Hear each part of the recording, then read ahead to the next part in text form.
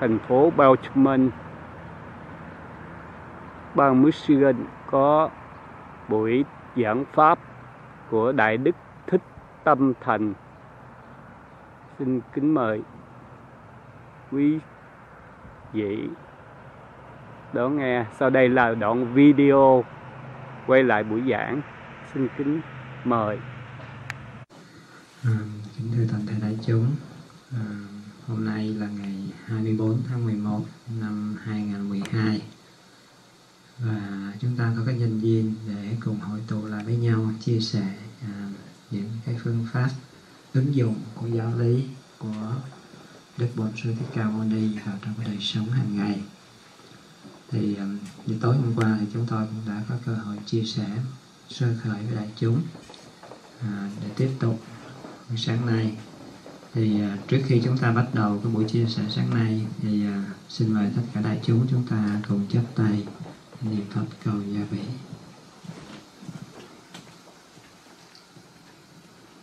Nam mô Bổn sư thích Ca ca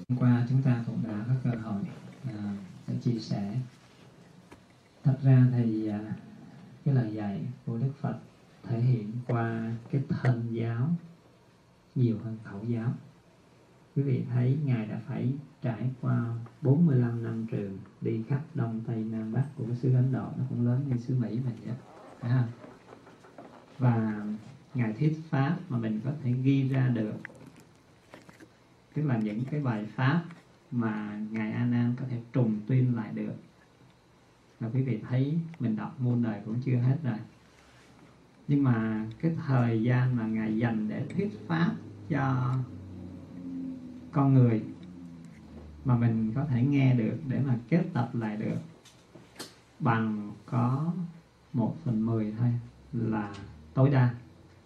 Nha. Còn cái thời gian mà đức phật thuyết pháp cho mọi loài chúng sanh bằng cái thanh giáo thì hầu như 24 giờ một ngày. Trong khi cái thời gian mà ngài thuyết pháp để mà mình có thể nghe được, có thể trùng tuyên lại được, chưa tới 4 đến 6 tiếng một ngày và ngoài những cái bài pháp đó, còn những cái bài pháp không lời, hay là ở một cái tần số cao hơn, mà ngài A Nan lúc đó chưa chứng thánh quả cho đó chưa có thể ghi nhận được, chưa có thể nhớ được, hay là nói chung là chưa biết được tức là có những bài pháp Đức Phật giảng cho những cái cảnh giới khác, của các cảnh giới chư thiên, của ngã quỷ, của súc sanh và địa ngục, vân vân nha chỉ có một vài cái trường hợp khi mà những vị chư thiên um, xin phép trước hiện thân về thì lúc đó ngài A Nan mới mới biết được và xin Đức Phật từ bi lặp lại cái bài pháp đó. Thì những bài pháp đó mới được ghi vào trong tam tạng. Còn những cái bài pháp mà Đức Phật thuyết vô ngôn cho những cái loài chúng sanh khác thì ngài A Nan không thể nào nghe được tại vì ngài A Nan chưa có chứng thánh quả như là ngài Xá Lợi Phất hay là à, ngài Ngục Kiền Liên vân vân thành ra cái thân giáo và những cái lời thuyết pháp ở những cái tầng bậc những tần số cao hơn thì nó còn vô vàng. nha và ngày hôm qua thì chúng ta chỉ mới điểm sơ một vài những cái mà Đức Phật à, đã chỉ cho chúng ta trong kinh điển và làm sao chúng ta có thể sử dụng những cái đó đi vào trong cái đời sống thực tế của mình được. Thì à, một cái mà ngày hôm qua chúng tôi có thưa với quý vị là đòi hỏi chúng ta phải có cái sự tỉnh thức, nha.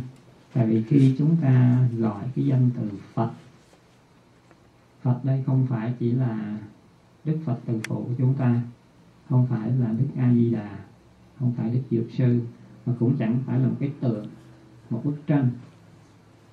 Đó những là cái biểu trưng thôi, nha.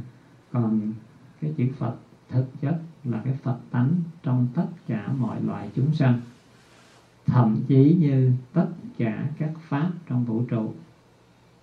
Và cái sự tỉnh giác, sự tỉnh sáng và cái tuệ giác nó có mặt hầu như khắp nơi trong vũ trụ. Mà tiếng Anh nó gọi là universal intelligence nha mình có thể gọi là cái Phật tánh, như lai tàng hay cái gì đó. Nhưng mà trên cái quan điểm của khoa học, của vũ trụ học thì mình có thể gọi cái đó là universal intelligence. Nó có mặt, nó hiện hữu khắp nơi. Và mình nhìn, chẳng hạn như mình nhìn xuyên qua một cái tia ánh sáng, mình có thể thấy những cái hạt bụi li ti li ti nha thì quý vị biết rằng mình nghĩ đó là những hạt bụi, nhưng mà thật ra nó không phải là hạt bụi. Trong cái hạt bụi đó, nó có, mình vẫn còn nhìn thấy được bằng mắt thường mà. Quý vị thấy chưa? Nhưng mà như ngày hôm qua mình nói là, tức là những cái con vi sinh hay là những con siêu vi trùng, mình phải phóng đại tới 200.000 lần mình mới thấy được thì như vậy, trong mỗi một cái hạt bụi mà mình thấy được bằng mắt thường như vậy, cho dù nó nhỏ nhất, nó cũng đã chứa hàng tỷ con vi sinh trong đó. Và nó có mặt khắp nơi trong cái cõi thái hư này, không phải trên cái hành tinh của chúng ta, trong cái thái dương hệ của chúng ta, mà xuyên suốt tất cả những dãy ngân hà với hơn 300 tỷ hành tinh hiện nay chúng ta đã phát hiện được thì sự sống và cái Phật tánh nó đều hiện hữu hết. Không có nơi nào không hiện hữu. Và khoa học đã chứng minh rằng ngay trong lòng núi lửa, với cái nhiệt độ nó có thể lên tới 5 cho tới 10 ngàn độ C, thì những sinh vật đó vẫn còn sống sót. Hay thậm chí như ngay trong lòng của cái lò hạt nhân mà những cái lò hạt nhân mà chế tạo ra cái điện cho chúng ta, cung cấp điện cho chúng ta sử dụng ngay trong lò phản ứng hạt nhân đó. Là nhiệt độ nó lên cũng vài ba ngàn độ C là tối thiểu, sinh vật vẫn còn sống trong đó. Nha. Thành ra, cái Phật tánh nó hiện hữu khắp nơi, mà ngay trong tự thân của mình là một cái động vật tiến hóa cao nhất trên trái đất này mà mình không phát hiện, không sử dụng được nó, thì như vậy hơi ổn đó quý vị. Thành ra, sự thị hiện của chư Phật bảy đời mà như ngày hôm qua chúng tôi thưa với quý vị, tại sao ngài không ở trên cảnh giới của khỏi đâu xuất thành Phật cho nó dễ dàng, nó tình lợi? Nha. Tại sao cái thị hiện về đây?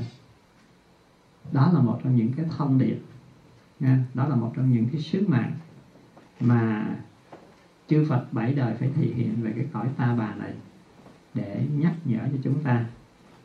Và xuyên qua hết tất cả những cái lời dạy, chẳng hạn như đối với Phật Thích Ca Mâu Ni 45 năm thuyết pháp,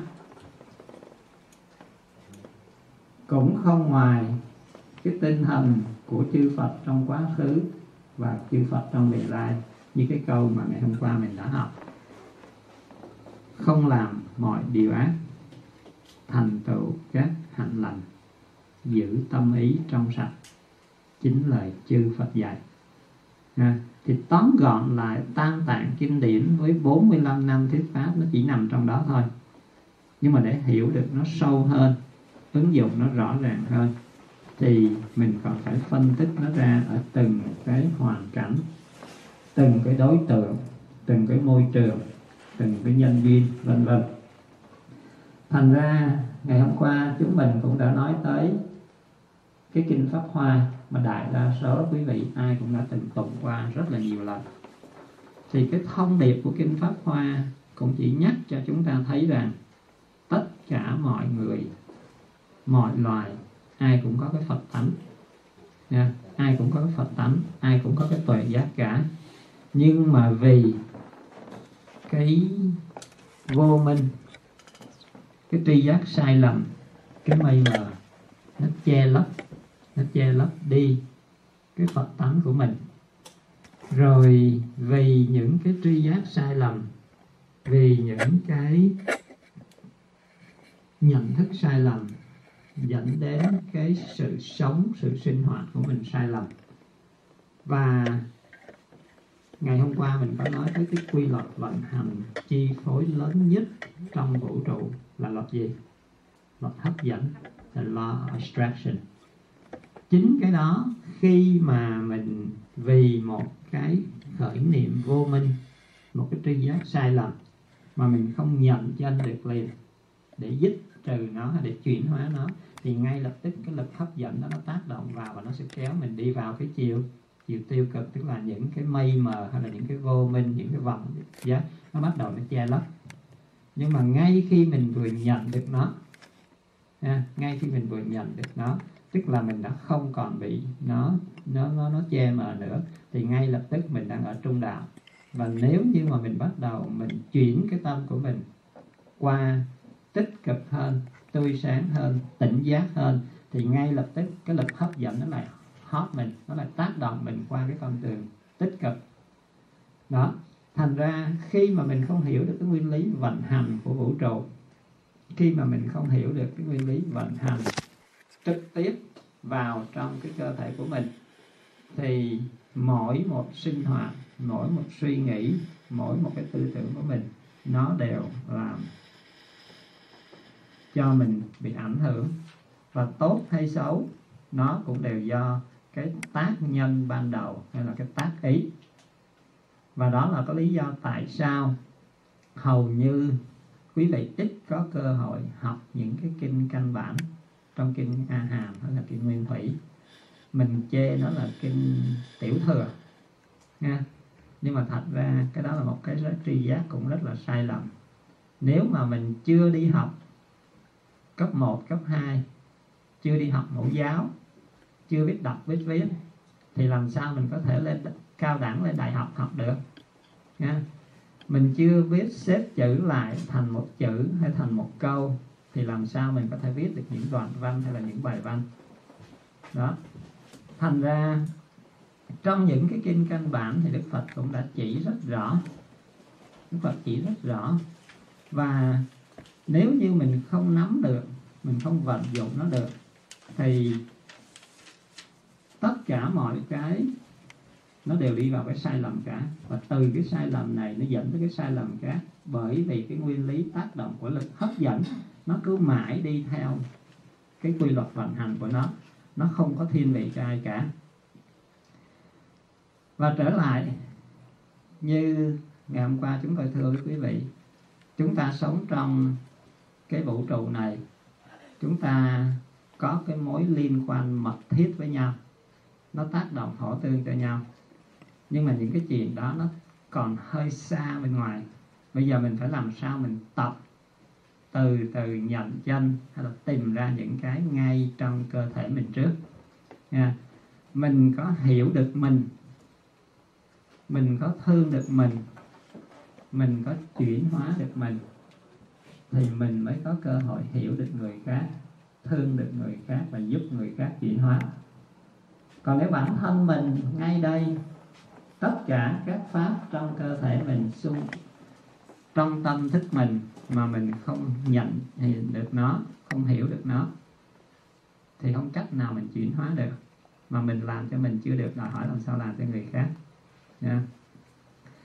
thành ra hôm nay chúng ta sẽ bắt đầu đi vào để xem thử coi um, cái một cái lời dạy căn bản của Đức Phật trong cái đời sống hàng ngày mà như ngày hôm qua chúng tôi nói với quý vị là cái ảnh hưởng của tinh thần Phật giáo vào trong cái văn hóa Việt nói riêng và văn hóa phương Đông nói chung nó sâu đậm đến mức độ nào qua cái chữ ăn nha qua cái chữ ăn nhưng mà trước khi mình ăn á thì bây giờ mình phải xem thử coi. Quý vị thường nghe ở tây phương này người ta nói gì? Body mind spirit. À, tức là thân tâm và cái tâm linh của mình. Hay là mình thường nghe nói tâm sinh lý nhưng mà thực ra chưa phải chưa đúng hẳn tức là tâm sinh vật lý. À, chẳng chẳng hạn như bây giờ mình nghe người ta nói một câu hay một chữ gì đó mà nó không lọt lỗ tai. Nó không lọt lỗ tai thì chuyện gì xảy ra? Mình vừa nghe xong, nó tác động vào não bộ mình thì nó không dừng ở đó. Nếu như mình không tập lắng nghe, không nhận diện được nó, thì ngay lập tức cái signal đó nó sẽ tác động từ não bộ của mình. Là tâm lý cái gì? Nó bắt đầu nó chuyển hóa, nó tác động vào cái thân sinh lý của mình để nó tạo ra những cái nội tiết tố rồi từ những cái chuyển hóa, thay đổi trong cái sinh lý đó, nó bắt đầu nó tác động ra cái thân vật lý của mình. Tức là nó làm cho tim mình đập nhanh hơn, hơi thở của mình dồn dập hơn. Tay chân của mình bắt đầu run lên ha, mắt mình bắt đầu trợn lên miệng mình bắt đầu la lối tay chân bắt đầu muốn đấm đá ha. thành ra từ những cái đó mà nếu mình không hiểu được tại sao nó diễn ra như vậy, thì chúng ta sẽ rất là khó mà xử lý nó khi mình không biết cái tiến trình của nó tác động do cái cấu hình của vũ trụ hay là các nguyên lý vận hành của nó thì như vậy trong cơ thể của mình trong cơ thể của mình, nó có nhiều tầng bậc nó có nhiều lớp. Nhưng mà mình nhìn, bởi vì mình ở cái thế giới tây phương này, hay là mình sinh ra ở cái thế giới vật chất này, xưa nay mình bị quen vướng mắt với cái thế giới vật chất, cái thế giới hữu hình. Thành ra bây giờ mình phải đi ngược lại, tức là đi từ cái thấy sẽ rõ có, đi vào cái mình sẽ không thấy không có. Đó là lý do tại sao cái bài kinh đầu tiên khi mà đức phật thuyết pháp cho những người bạn đồng tu của mình sau khi ngài thành tựu được cái đạo quả tối thượng. Là cái tứ diệu đế. Đức phật phải đưa ra cái gì trước? Cái khổ đế. Tức là cái hiện hữu, cái thực trạng mà mọi người đều có thể nhìn thấy được, mọi người đều đã được chứng nghiệm hết rồi từ đó mới bắt đầu đi ngược lại để truy tìm cái nguyên nhân gây khổ. Nha. Thì ở đây cũng vậy. Bây giờ mình xem cái thân của mình dễ nhận biết, dễ phát hiện, ai cũng có thể biết, ai cũng có thể thấy.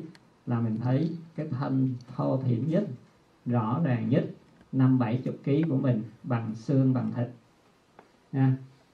Nhưng mà xin thưa với quý vị, cái thân này, nó chỉ là cái framework cái structure thôi. Nó không có thể tự nó vận hành được. Nha nó không thể tự nó vận hành được. Muốn cho những cái cơ xương khớp này nó vận hành được, thì mình phải đòi hỏi có một cái thân thứ hai.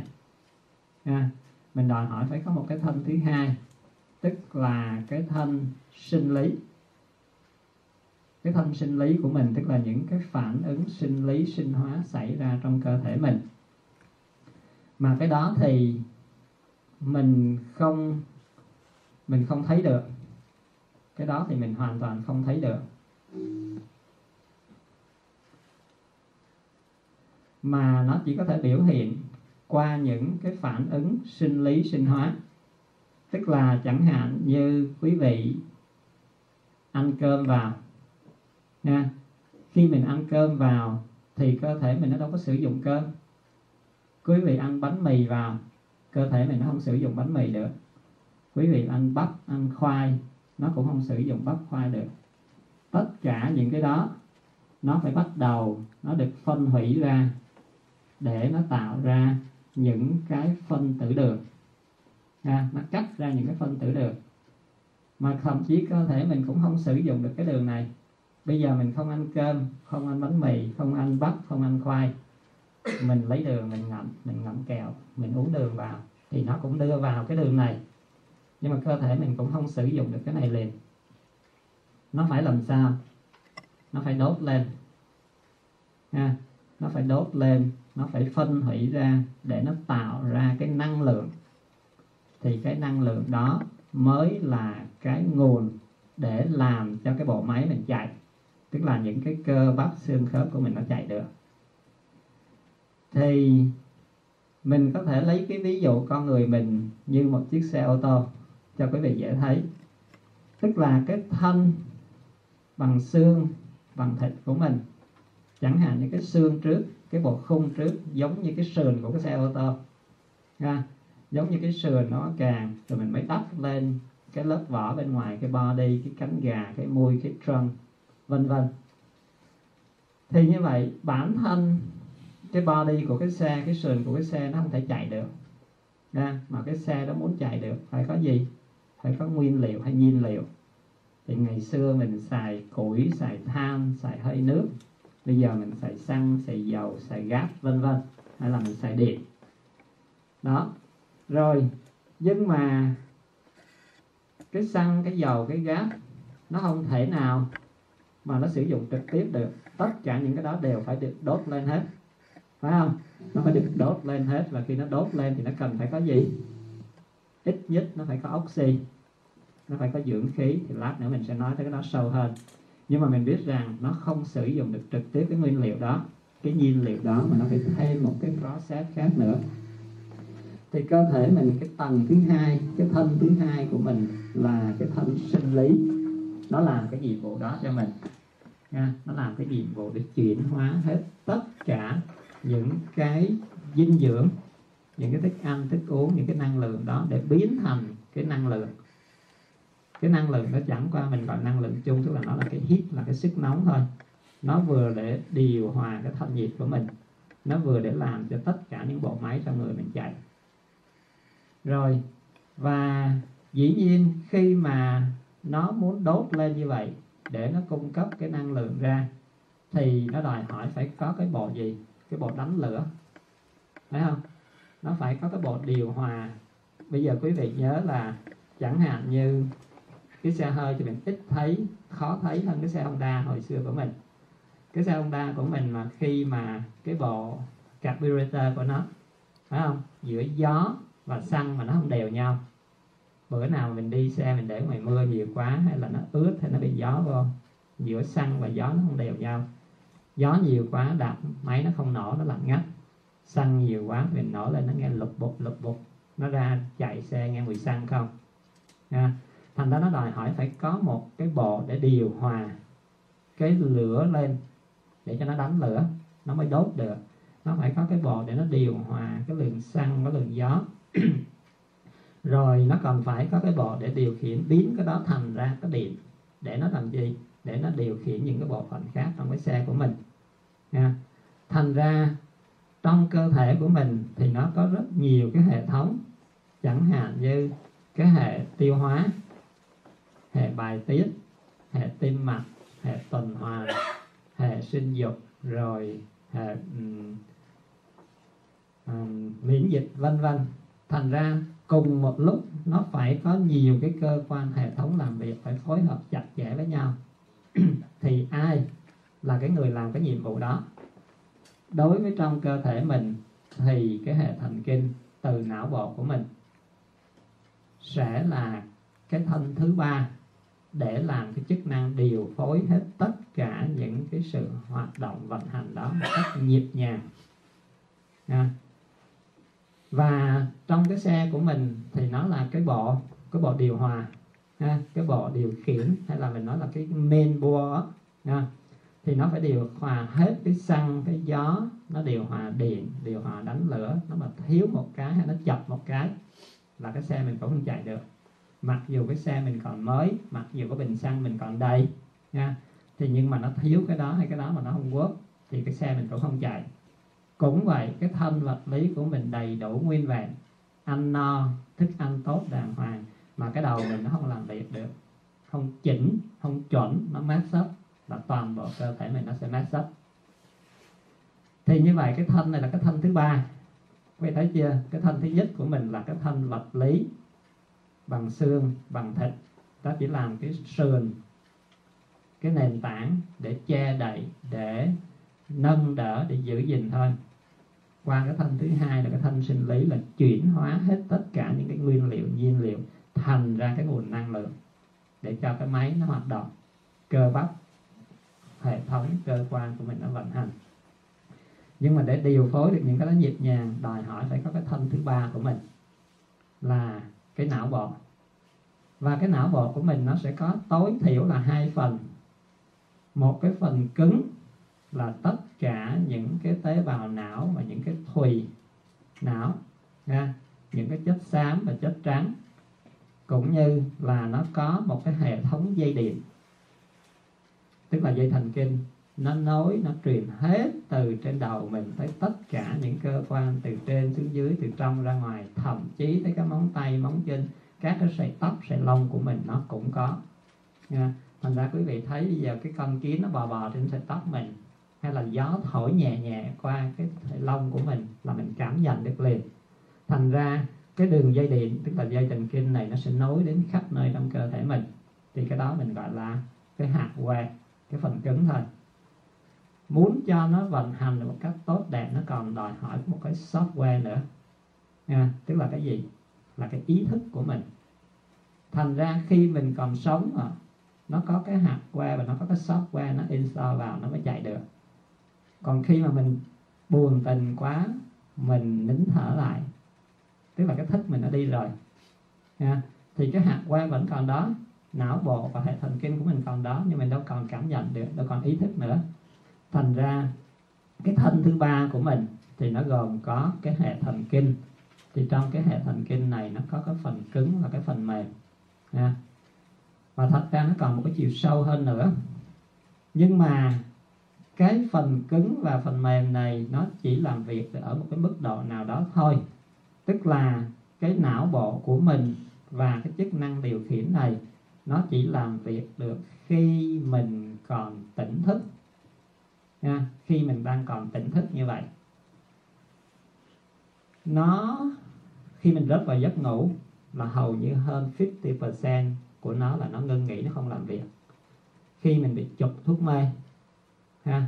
Mà nó không làm việc khi mình à, đi vào những cơn mơ đang ban ngày như vậy nhưng mà tự nhiên mình rớt vào một cái cơn mơ hay một cái sát na nào đó là nó không làm việc thành ra cái thân thứ ba của mình nó bị giới hạn ở chỗ đó. Nó chỉ có thể điều khiển được hết tất cả những cơ quan hệ thống này khi mình còn tỉnh thức thôi. Còn khi mình rớt vào cơn mơ khi mình rớt vào giấc ngủ khi mình rớt vào cái cơn hôn mê do thuốc hay do những cái điều kiện khác tác động, thì hoàn toàn nó sẽ không làm được cái gì cả. Do đó mình đòi hỏi phải có một cái thân thứ tư nữa. Cái thân thứ tư mình tạm gọi là cái thân tâm linh của mình. Nhưng mà thật ra mình bị kẹt vào cái danh từ. Thường mình nghĩ tâm linh là nó mang tính chất tôn giáo. Nhưng mà thật ra tôn giáo chỉ là một khía cạnh rất nhỏ của đời sống tâm linh và đúng hơn hết, nó là một cái năng lượng của vũ trụ. Nha, nó là một cái năng lượng của vũ trụ và nó có mặt xuyên suốt khi mình nằm trong cái thân vật lý này, hay là khi mình thoát ra khỏi cái thân vật lý này.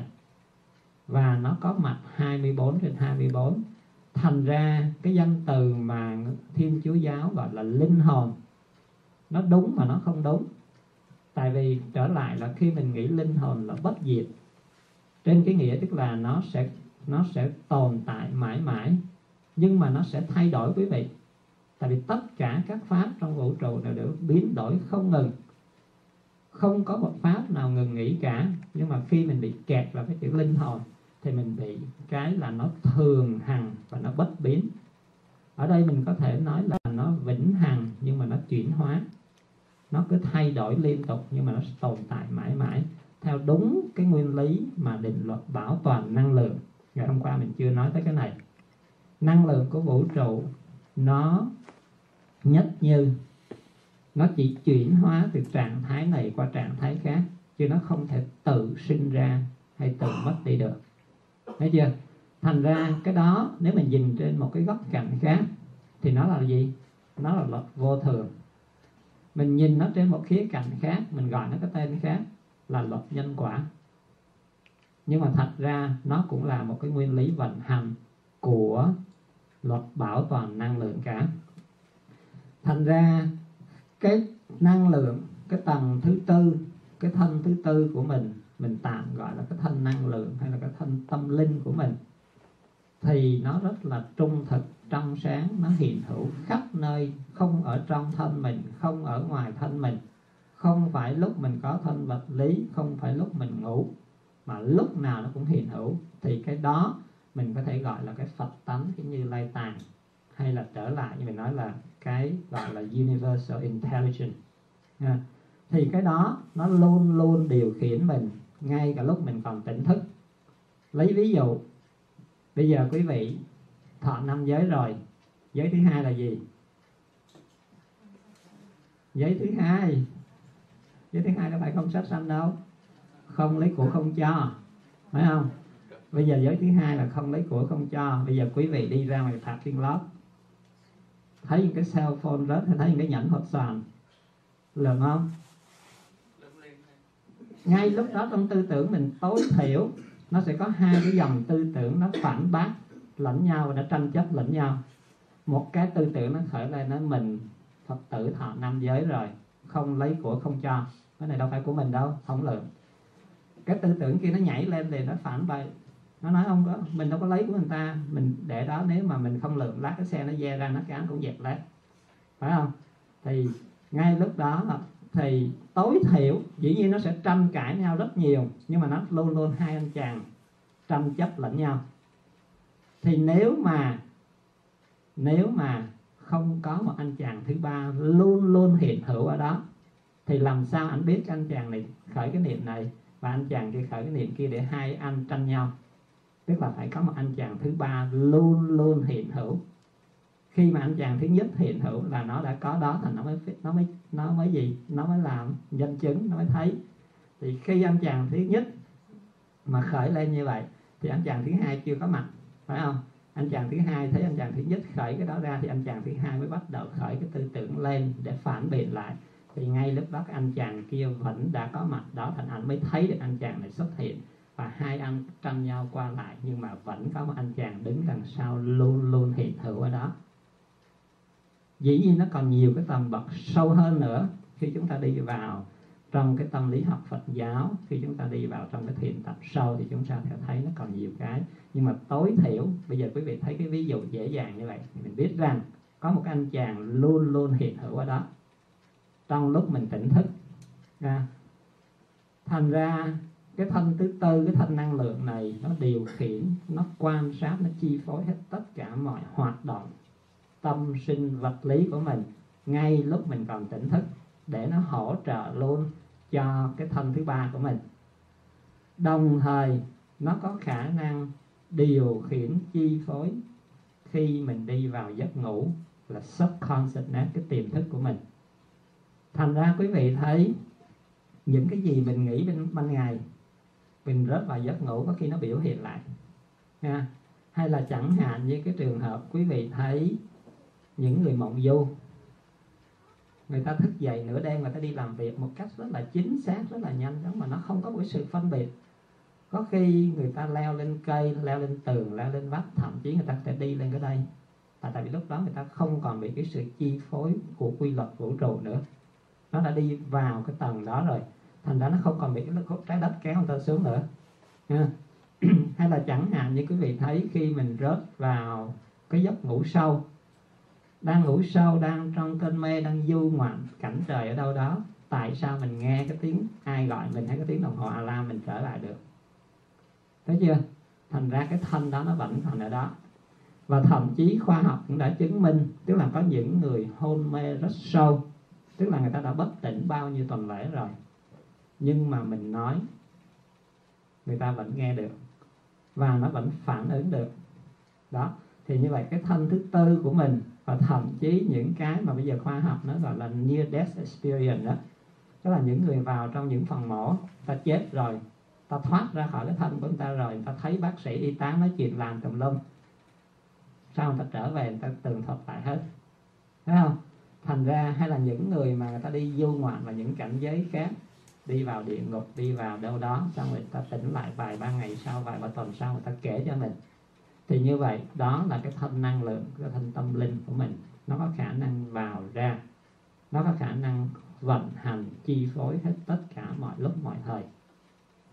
Thành ra đó là cái mối liên quan mật thiết và hầu như nó làm việc chung với nhau, nha nó làm việc chung với nhau. Và dĩ nhiên, cái tầng càng sâu bao nhiêu, càng cao bao nhiêu, càng quan trọng bấy nhiêu.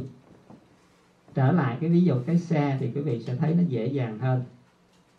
Bây giờ mình có cái sườn xe, nha, cái body rất là mới, ngon lành, nha, bánh đầy đủ, mới tinh.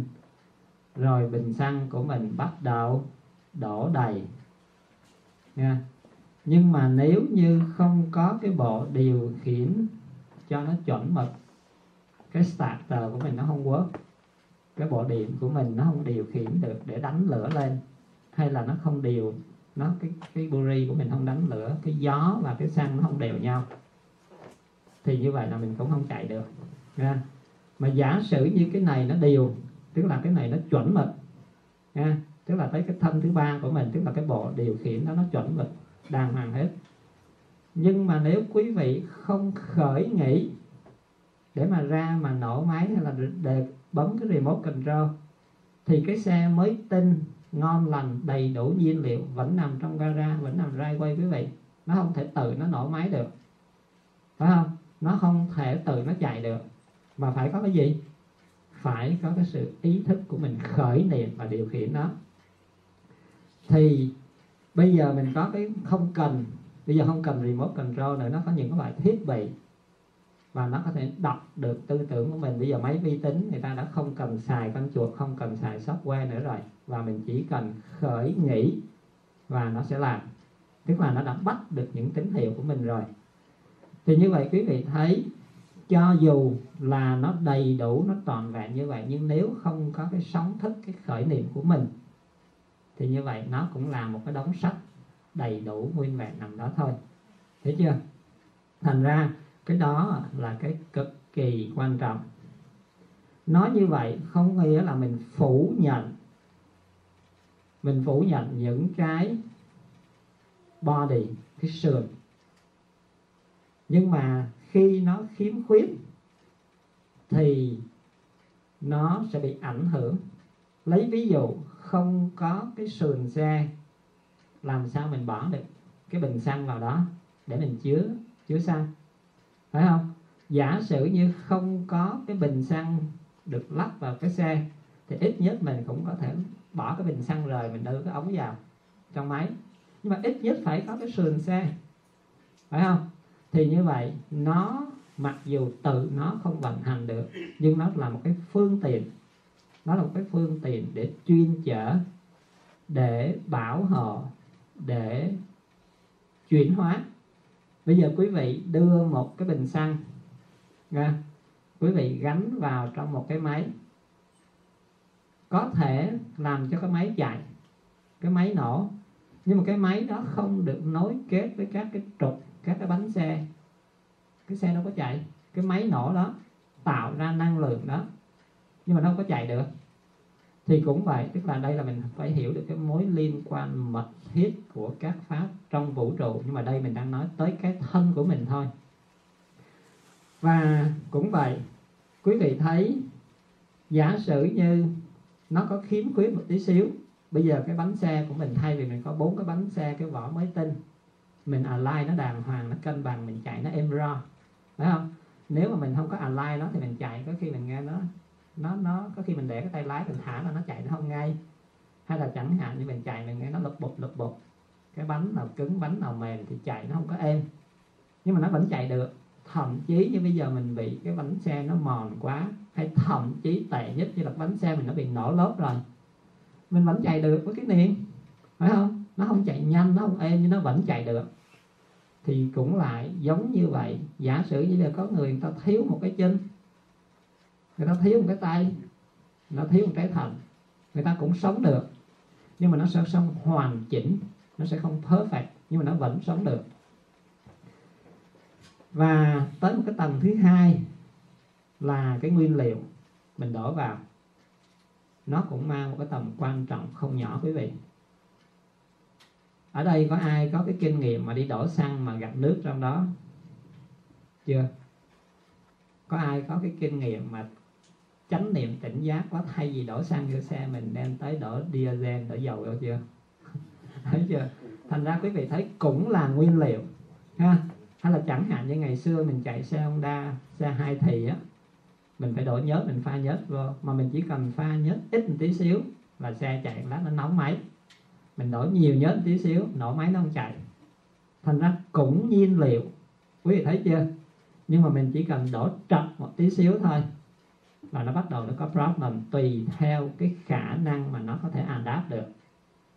Thì cũng giống như vậy ở đây thôi quý vị. Cũng là thức ăn, thức uống. Quý vị thấy rõ chưa? Cũng là thức ăn, thức uống. Nhưng mà mình chỉ không biết cách đưa vào cái lượng, cái chất, cái sự phối hợp là nó ra hàng loạt cái sự khác nhau. Đó là lý do tại sao người mỹ người ta nói là bạn ăn cái gì thì bạn sẽ trở thành cái đó. Và cái đó không phải là của người mỹ nói đâu. Cái đó đúng là nguyên lý của nhân quả của đông phương mình đó. Ha hay là nó là nguyên lý của lực hấp dẫn của cái luật là nhân quả mà nó biểu hiện ra thôi.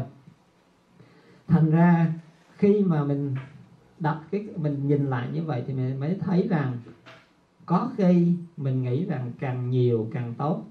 Và bây giờ chúng ta đang bị rơi vào cái thế giới consuming mình tiêu thụ nhiều quá mình có điều kiện nhiều quá và mình nghĩ càng nhiều càng tốt nhưng mà không ngờ cái mặt trái của nó ha, mình sẽ đi sâu vào nó nhiều hơn. Thành ra ở đây mình chỉ cần thấy thứ nhất là cũng nguyên liệu nhiên liệu nhưng mà nó chỉ cần trật đi một tí xíu thôi là nó có vấn đề liền. Thì cũng tương tự như vậy cái thức ăn thức uống của mình chỉ cần mà trật đi cái lượng trật đi cái chất trật đi cái combination đó là cái sự phối hợp và nó có vấn đề ngay lập tức. Nha. Sâu hơn nó một tí xíu nữa. Hồi nãy mình nói rồi, cái nguyên liệu, cái xăng, cái dầu, cái củi, cái than gì đó, mình bỏ vào cái xe. Nó muốn đốt lên được để nó tạo ra cái năng lượng là cái sức nóng, là cái heat. Nha. Đối với cái xe thì nó chỉ làm để cho cái xe chạy thôi. Nhưng mà đối với con người mình, ngoài cái nhiệm vụ làm cho các cái bộ máy chạy, nó còn phải điều hòa cái thân nhiệt của mình nữa nha, nó giữ cái thân nhiệt của mình nữa. Mà như vậy thì cái vấn đề kế tiếp đi theo song hành với nó trong cái phản ứng sinh lý, sinh hóa đó là gì? Cái đường hô hấp, cái hệ thống hô hấp và tuần hoàn của mình. Nó phải làm việc chặt chẽ với cái hệ tiêu hóa và bài tiết. Nếu như mình đưa nguyên liệu vào đầy đủ mà mình thiếu oxy, thiếu dưỡng khí, thiếu oxy là tiêu rồi dư thì dĩ nhiên có lẽ là mình không đáng sợ. Thấy không? nó thải là được nhưng mà thiếu là tiêu rồi.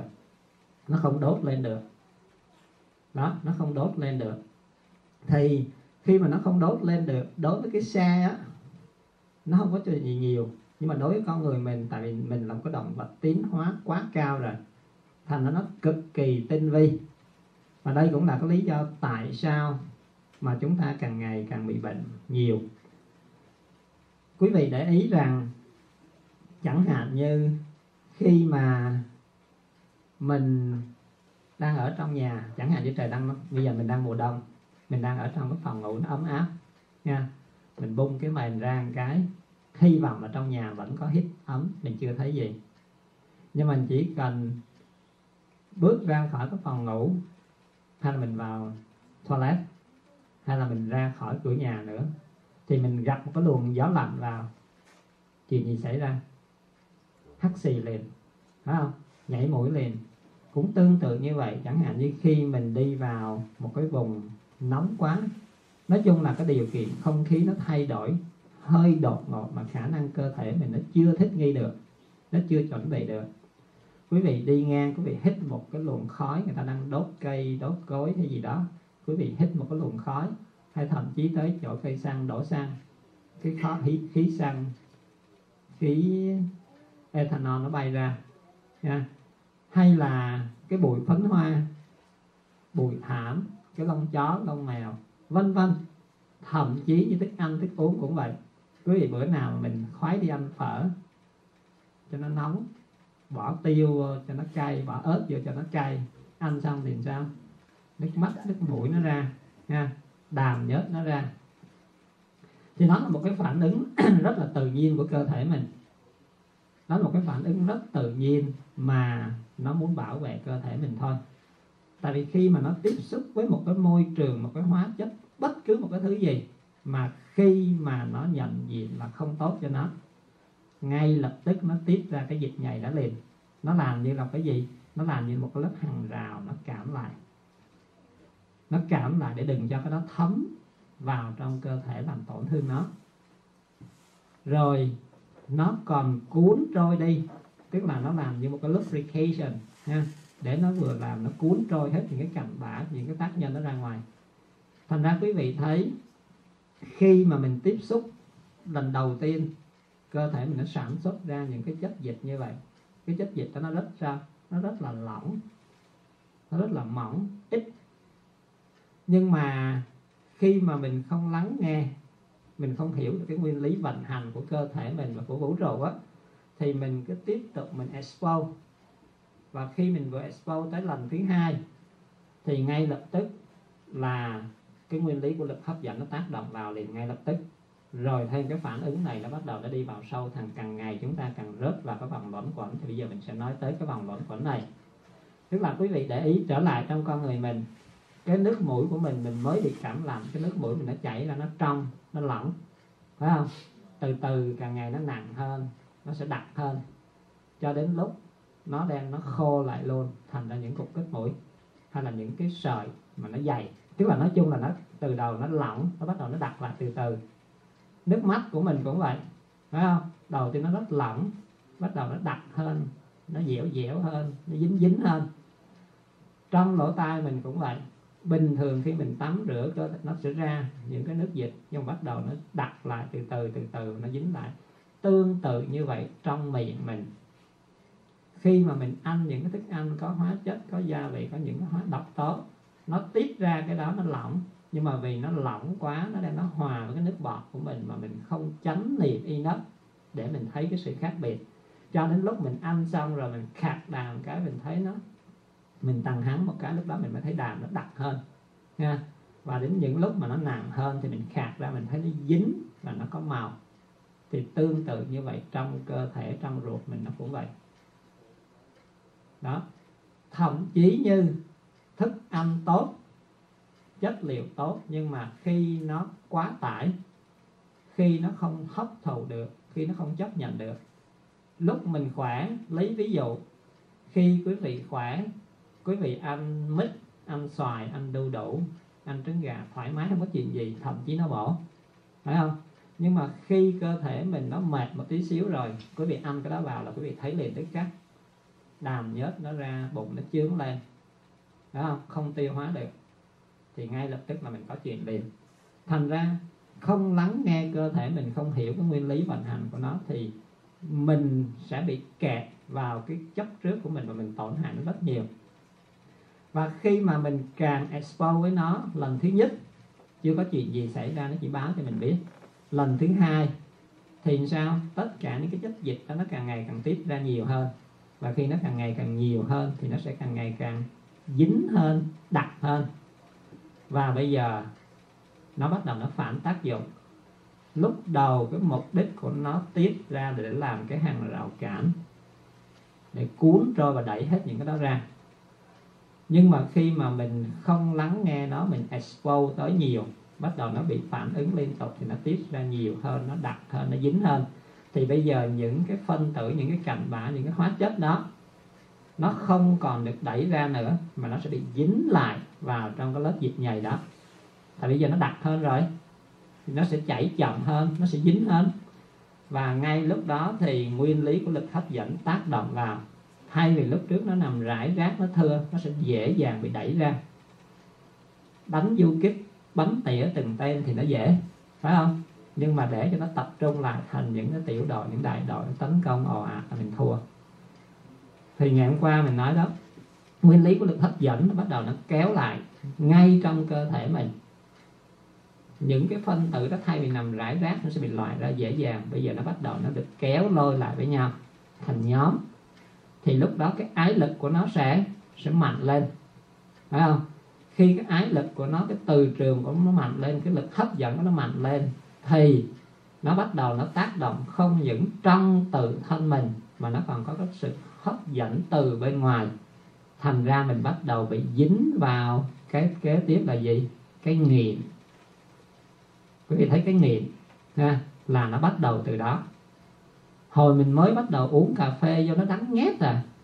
Đâu có thích đâu, phải không? Hồi mình mới nhấp một cái ngụm rượu, đầu tiên nó nóng rát cổ, nó cay gần chết. Hay là mình, ai mà mới hút thuốc đầu tiên, hút vô một cái sặc sụa, đâu có ngon làm gì. Phải không? Nhưng mà nếu mình không tỉnh giác ngay đó, thì ngay lập tức, nó sẽ bắt đầu để nhảy qua cái tầng thứ hai. Thì những cái hóa chất, những cái đó nó bắt đầu nó dính vào đó. Và khi nó dính vào đó rồi thì cái lực hấp dẫn nó sẽ mạnh hơn và lúc đó nó sẽ kéo từ bên trong người mình lại với nhau để gom lại. Và nó bắt đầu nó kéo từ bên ngoài vào. Thành ra mình bắt đầu dính cái nghiện. Và từ cái nghiện của vật lý, phải không? Nó sẽ chuyển qua cái sinh lý là tại vì giờ cơ thể mình nó phải bắt buộc nó thích nghi với cái điều kiện có những cái đó trong người nó. Thì từ cái nghiện về vật lý nó dính qua cái nghiện về sinh lý. Mà khi sinh lý thay đổi thì tâm lý nó sẽ thay đổi và mình bắt đầu mình nghiện thấy không? Thành ra, khi mà mình càng tiếp xúc, thì lúc đó tất cả những cái đó cứ thế mình bị luẩn quẩn. Khi mình nghiện thì mình đưa vào tiếp tục. Mà mình tiếp tục đưa vào thì cơ thể mình nó không chịu. Không chịu thì nó phản ứng, nó tiết ra dịch nhầy nhiều hơn. Khi nó tiết ra dịch nhầy nhiều hơn thì nó lại bắt giữ những cái phần tử đó lại nhiều hơn. Và cứ thế, càng ngày mình rớt vào cái vòng luẩn quẩn cho đến khi quý vị thấy những cái phân tử đó nó bị kẹt lại trong những cái lớp dịch nhầy dọc theo cơ thể mình từ trên mũi ha, từ trên mắt trên tai trên mũi cho tới nhiều nhất là trong cái đường tiêu hóa của mình. Và khi nó dính lại như vậy thì nó tạo nên những cái gì? Những cái sỏi cái sạm. Đó những cái sỏi cái sạm. Và nếu nó dừng ở đây á thì mình còn tạm đỡ, quý vị. Nhưng mà nó không dừng ở đây. Tại vì cái này là một cái phản ứng liên tục. Giống như phản ứng hạt nhân vậy phản ứng miễn dịch mà. Lấy cái ví dụ khác để quý vị dễ hiểu hơn. Bây giờ quý vị có hai nhà hàng xóm hai bên, phải không? Khi mà cái mối giao tình, giao hảo của mình mà thuận lợi, tôn trọng, lẫn nhau coi như là người nhà, mình đâu có cần làm hàng rào, phải không? Đâu có cần xây vách, xây tường chặn đi qua đi lại. Nhưng mà khi cái mối giao tình mà nó không còn tốt đẹp, thì sao? Bắt đầu là cái hàng rào chặn phân biệt rồi, Thấy không? không cho qua lại nữa. Thì cái đó giống như là nó kéo cái lớp dịch nhầy đầu tiên mỏng mỏng đó để nó cảm lại rồi. Nhưng mà chưa, nếu mà cái mối giao hảo càng ngày càng tệ hơn, không muốn thấy mặt nữa. Ha không muốn thấy mặt nữa thì bắt đầu đóng cái hàng rào gỗ hay là kéo cái hàng rào lưới. Ngang tầm mắt mình hơn cành cao để khỏi thấy mặt.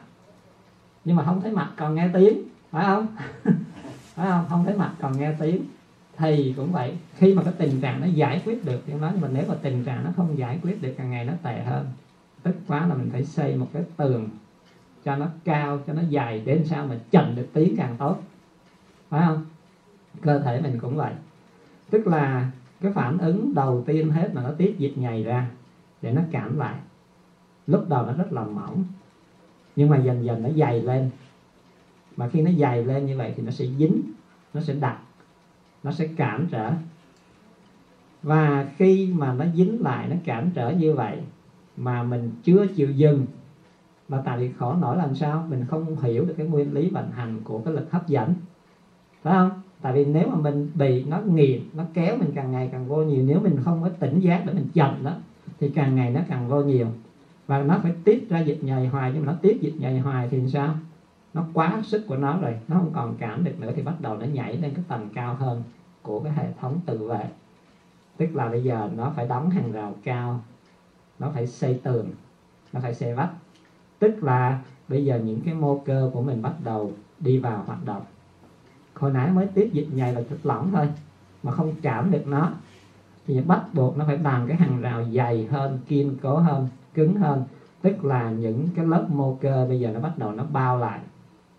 Nha, nó bao lại để nó ngăn chặn lại. Thì đó là cái con đường hình thành của cái gì? Những cái polyp, những cái kyst những cái tumor, những cái khối u.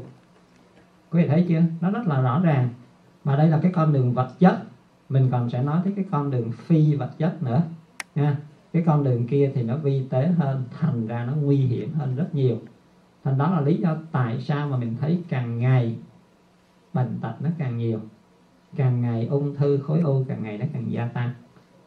Khi mà mình không hiểu cái nguyên lý vận hành của cơ thể mình và cái lực hấp dẫn hay là những cái quy luật vận hành của vũ trụ, mình chỉ cần làm trật một tí xíu thôi là cứ thế nó kéo mình càng ngày càng dính, càng ngày càng dính và nó tác động cả trong thân mình lẫn ngoài thân mình ảnh hưởng đến vũ trụ. Nếu như quý vị có thể nhìn cái scale này quý vị phóng đại nó lớn ra thì quý vị thấy cái năng lượng cái từ trường của vũ trụ mình ngày nay cũng vậy thôi. Phải không? Thất thường gió bão tornado.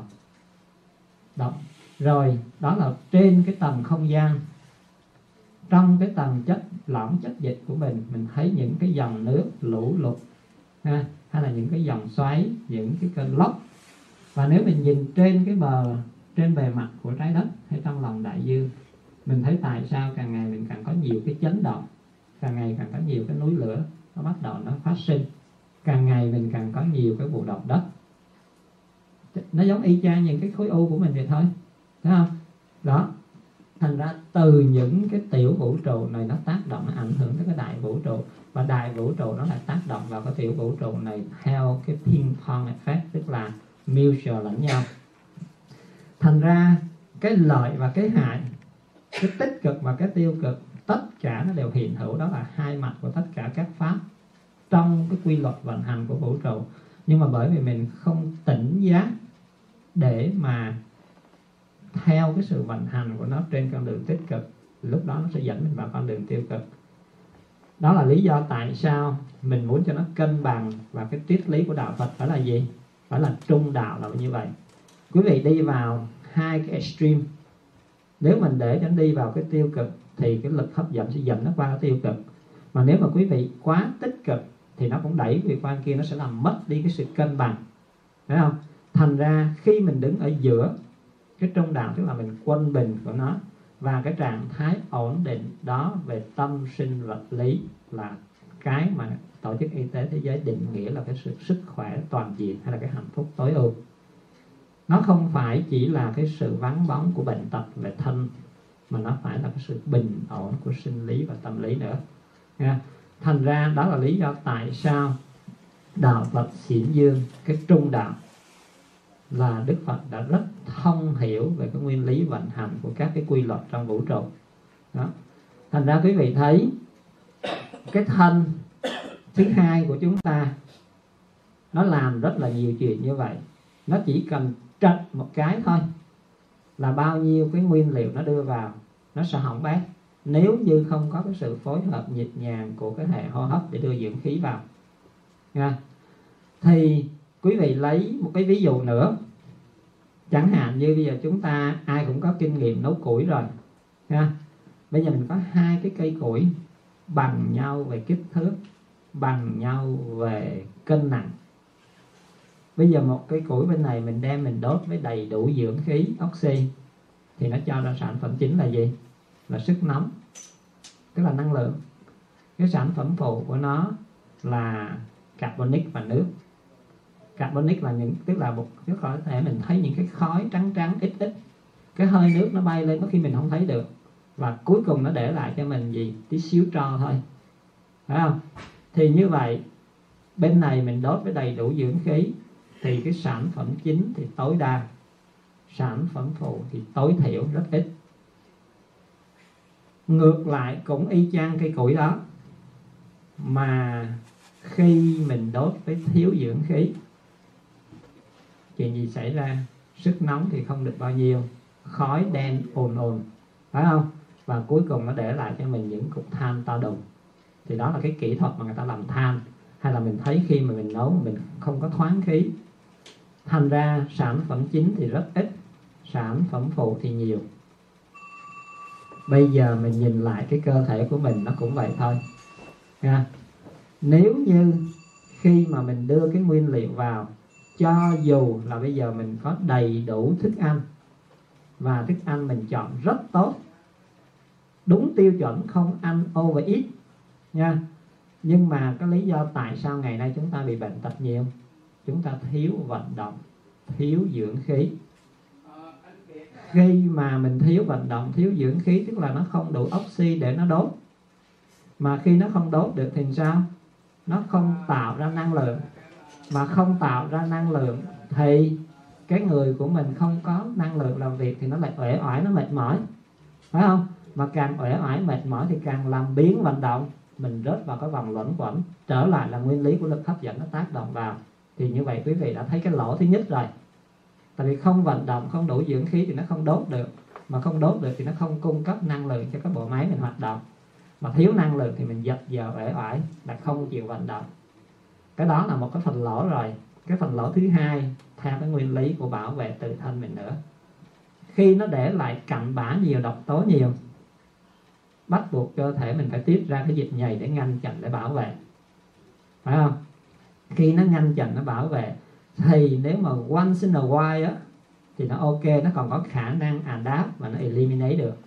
Nhưng mà ngày nào mà cũng làm biến không vận động, ngày nào cũng over ít thì cái độc, cái gì, cái chất thải càng ngày nó càng biêu ấp cái phản ứng miễn dịch càng ngày càng tiết ra, nhiều cái dịch nhầy càng tiết ra nhiều thì nó tạo nên cái gì? Bế tắc. Phải không? Và nó lưu giữ lại cái cặn bã độc tố trong người mình nhiều. Nguyên lý của lực hấp dẫn lại tác động vào. Nó chiêu cảm, thu hút lại hết tất cả những cái độc tố trong người mình và từ ở ngoài vũ trụ vào, làm cho nó bế tắc hơn. Làm cho nó bệnh tật, làm cho nó yếu hơn nữa. Thành ra quý vị thấy ngay đó thôi, cũng năng lượng mình ăn vào mà chỉ cần thiếu cái vận động, thiếu dưỡng khí là nó tạo ra bao nhiêu cái vấn đề rồi. Thấy chưa? Chưa hề nó cái thứ ba nữa. Cơ thể mình nó là một cái sự lưu chuyển của dịch, của khí, của năng lượng.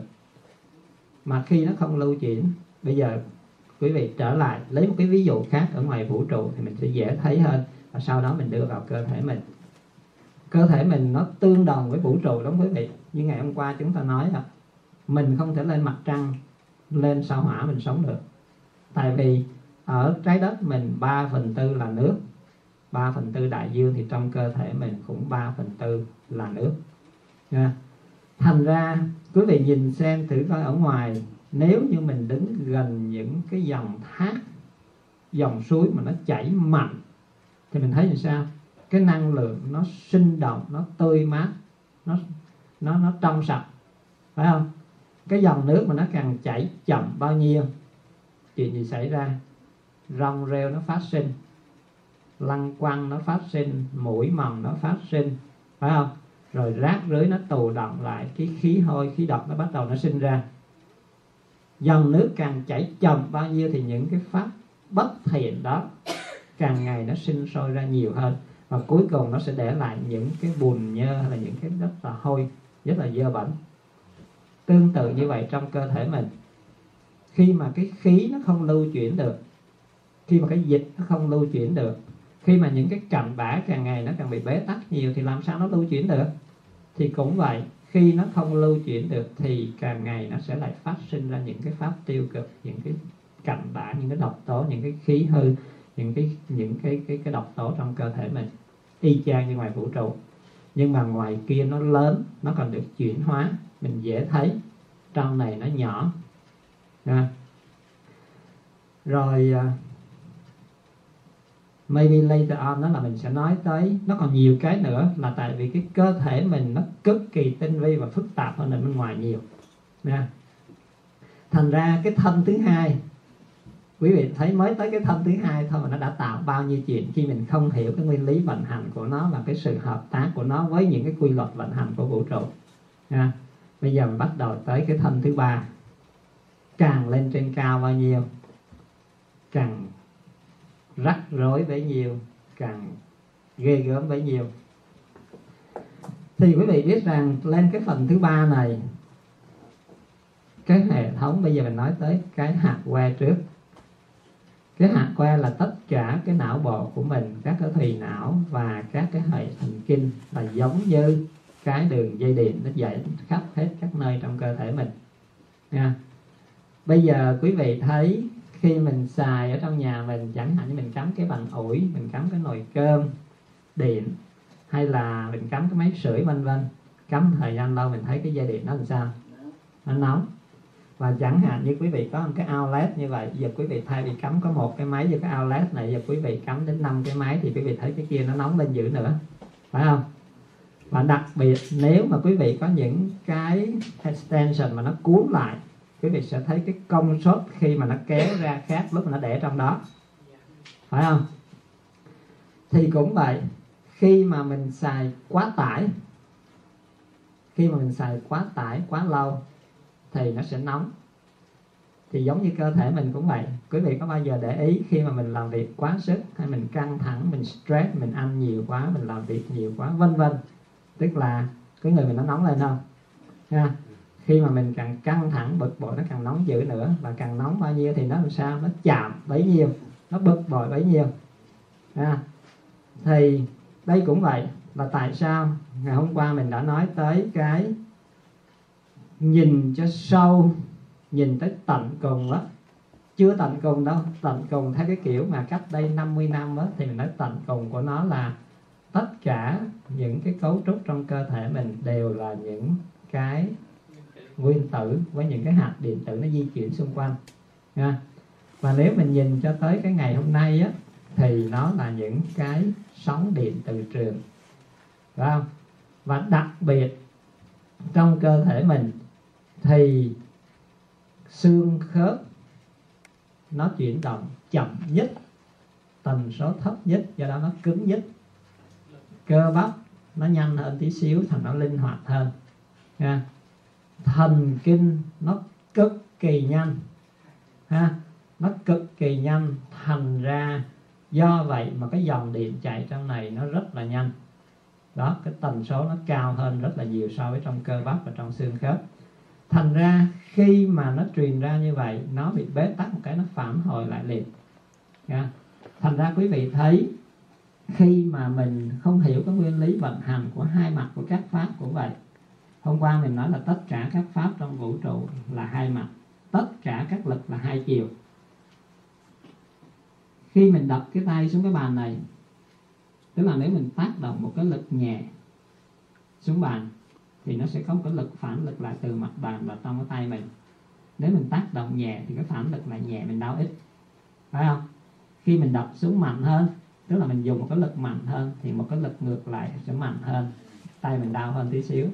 Mà mình đập càng mạnh bao nhiêu, tức là mình tác động cái lực xuống càng nhiều bao nhiêu, thì cái phản lực lại càng nhiều bấy nhiêu. Mà mình càng đau dữ. Mà đây, mặt bàn đang đứng yên tức là mới có một cái thay đổi thôi. Chuyện gì xảy ra nếu cả hai cái cùng thay đổi? Nó còn có nhiều cái variation hơn. Ha? Thì đây là cái cách chúng ta phải lắng nghe và tu tập đây. Chẳng hạn như khi mà mình bị những cái block những cái bế tắc này, mà mình không biết lắng nghe, không biết xử lý, thì nó sẽ sinh ra rất nhiều chuyện. Mình càng phản ứng nhiều bao nhiêu mình càng lãnh đòn bấy nhiêu. Quý vị thấy chẳng hạn như quý vị đang ngồi như vậy. Ra, mình đang ngồi như vậy, tự nhiên ai đến sau đi tới đập vào vai cái bốt thiệt đau nếu mà quý vị cũng một cái vật lý mình bị đập một cái bốt thiệt đau nha. Nhưng mà nếu mình thân rồi ra mà mình gặp cái người đó là một cái người bạn thân của mình vài mươi năm rồi mà chưa gặp, tự nhiên giờ gặp nhau, mừng hết lớn, phải không? Ôm nhau cái khóc đã đời, nhưng mà cái đau nó tan biến mất tiêu. À. nhưng mà quay qua mà gặp một cái người, nó hơi ngờ ngờ, nửa quen, nửa lạ, thì lúc đó nó cũng around there, nó không có đau hơn mà nó cũng không có giảm bớt bao nhiêu. Từ từ nó sẽ biến mất. Nhưng mà quay qua mà gặp một cái bà mà thấy ghét. Một cái người mà mình không đợi trời chung thì lúc đó mình nổi sung thiên lên. Phải không? Không, những cái thân mình đau hơn, cái tâm mình nổi điên nó còn còn đau hơn rất nhiều. Thành ra do cái phản ứng từ cái tâm lý của mình mà nó biến thành cái sinh lý và cái vật lý tác động ghê gớm như vậy. Thành trở lại ở đây cũng vậy. Khi mà những cái block những cái bế tắc của những cái hóa chất, những cái chất hại những cặn bã, nó chỉ là những cái bế tắc về vật lý trước.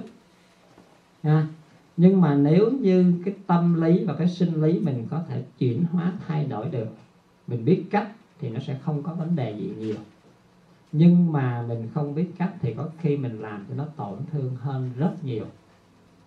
Theo cái nguyên lý của hai mặt của các pháp và hai chiều của các lực. Mình càng phản ứng bao nhiêu, mình là cái người lãnh đòn bấy nhiêu.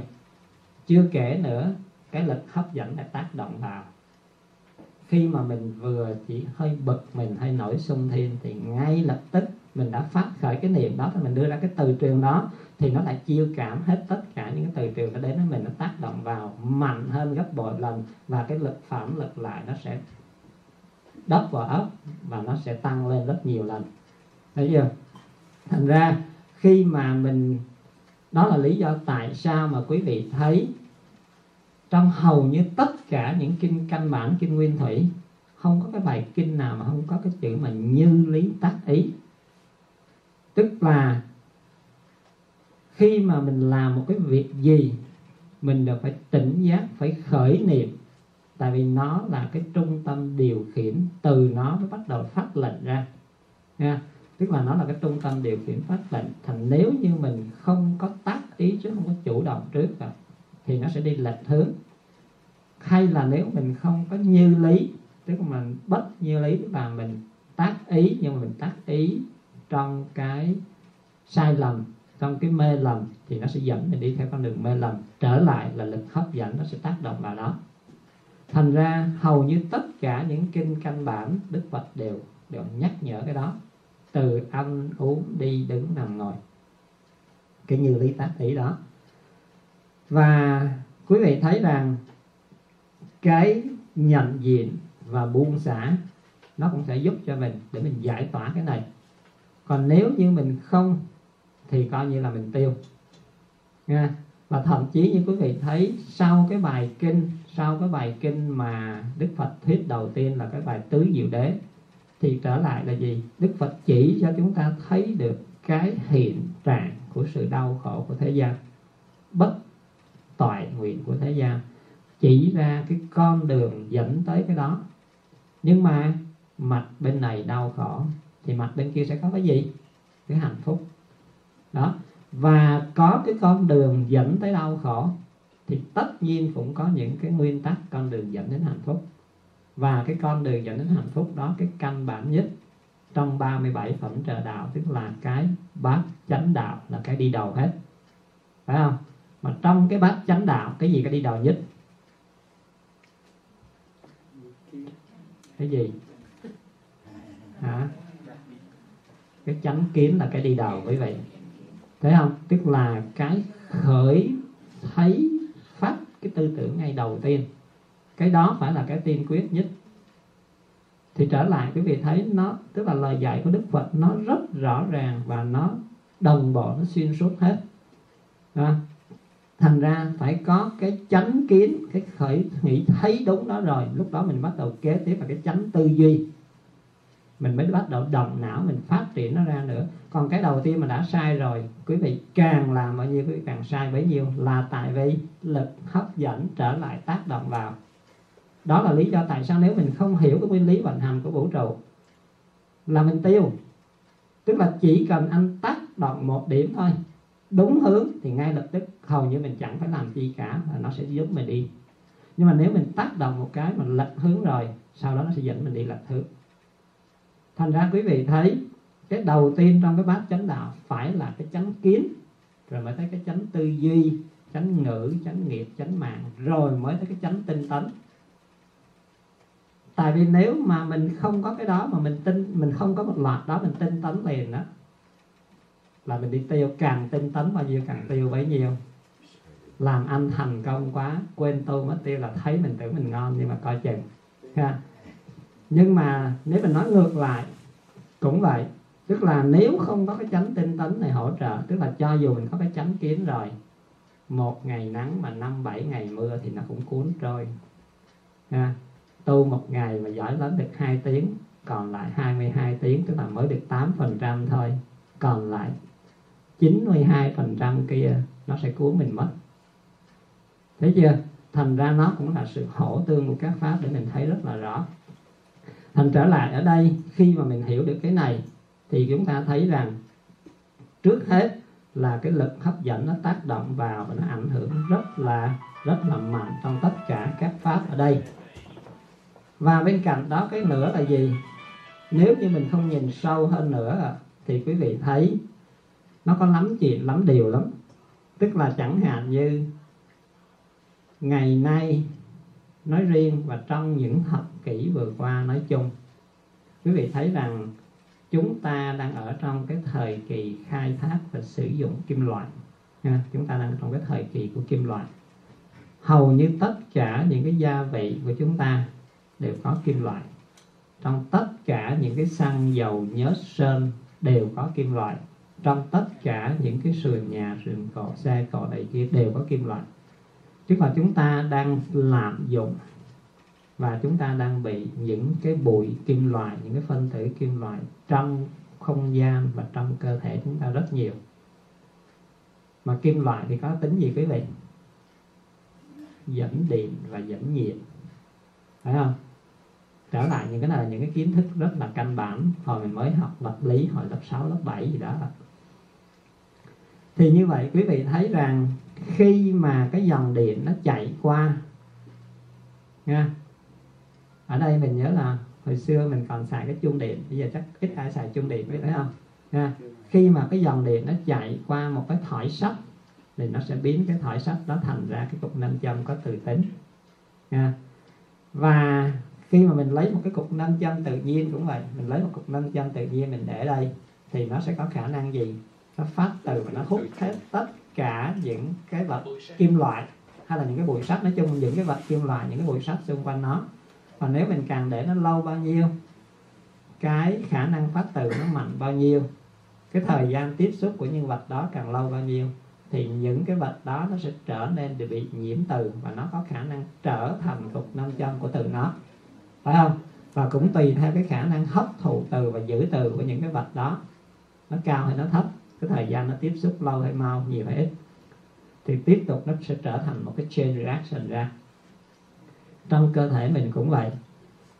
Nếu như mình không hiểu cái nguyên lý vận hành của nó và lực hấp dẫn tác động vào, tất cả những cái cặn bã độc tố trong khói xăng, khói dầu, thức ăn, thức uống, môi trường, vân vân, nó vào, nó tắt. Ngày nay nữa là cái sự không vận động hay là ăn uống chất đạm không đúng cách ở đây quý vị có ai có kinh nghiệm mà đi vào nhà bếp mà khi mình mở cái lò lên mà cái lửa nó chưa chịu bắt, cái ga nó xì ra chưa?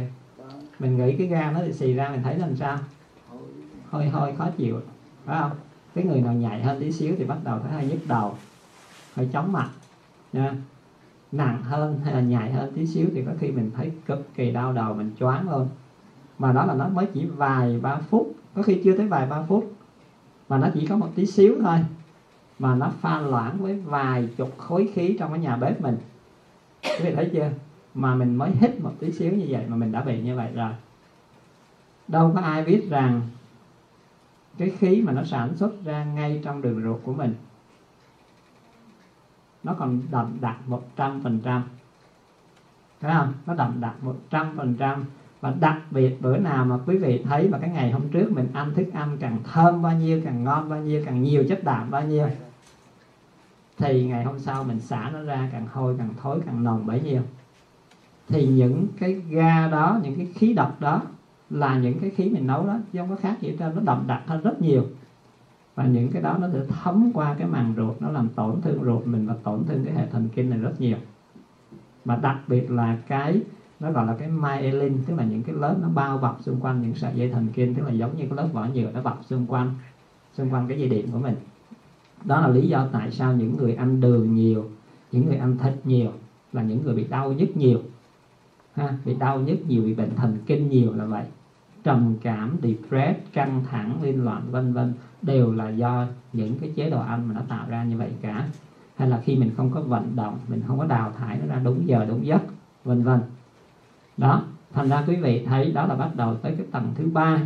Nó đã gây rối loạn và khi mà rối loạn cái tín hiệu này rồi thì nó sẽ bắt đầu rối loạn qua cái nội tiết tố tại vì nó là cái điều khiển nha cái bộ hệ thần kinh này là cái nó điều khiển hết tất cả những cái cái nội tiết tố của mình. Chưa nó, cái nội tiết tố của mình nó sẽ đi theo cái nguyên lý của hàng dọc và xã hội mình dựa trên cái nguyên lý vận hành của vũ trụ. Tức là từ cái não bộ này của mình đó quý vị biết rằng nó sẽ có một cái tuyến tùng ha, cái tuyến tùng nó nằm ngay sau óc mình. Thì cái này là một cái cái bộ chỉ huy tối cao và cực kỳ bí mật. Nó làm rất nhiều nhiệm vụ nhưng mà nó có khả năng nối giữa thế giới vật chất và thế giới phi vật chất giữa thế giới này và thế giới tâm linh ha. À, cái này á, thì chúng ta sẽ nói sau. Nhưng mà đây là cái ông chủ của vũ trụ.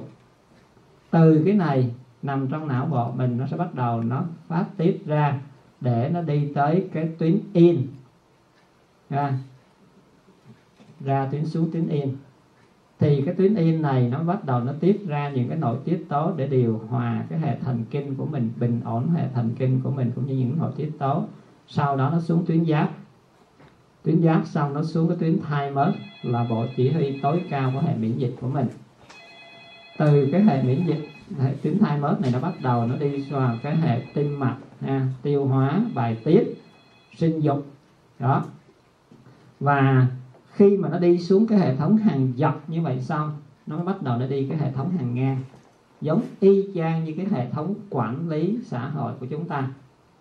Thành ra đây là cái nguyên lý vận hành của vũ trụ và mình học theo, mình bắt chước theo nó thì mình mới có thể vận hành được trong cơ thể mình, trong xã hội của mình. Thành ra khi mà cái hệ thần kinh của mình mà nó bị mess up như vậy rồi, tín hiệu nó không đưa đi được đúng, thì như vậy nó sẽ làm rối loạn nội tiết tố. Mà rối loạn nội tiết tố thì ngày nay mình thấy mình có biết bao nhiêu cái bệnh, nha. Đó, thành ra chúng ta thấy nó dính chùm với nhau hết mà cái khổ nổi là y học hiện đại càng ngày càng specialize thành ra nhìn cái con người mình một cách nó cục bộ đi, mà người ta không phối hợp lại được nhịp nhàng thành ra đó là cái lý do tại sao càng ngày mình càng bị nhiều cái bế tắc hơn nữa. Đó, càng ngày càng bị nhiều cái bế tắc.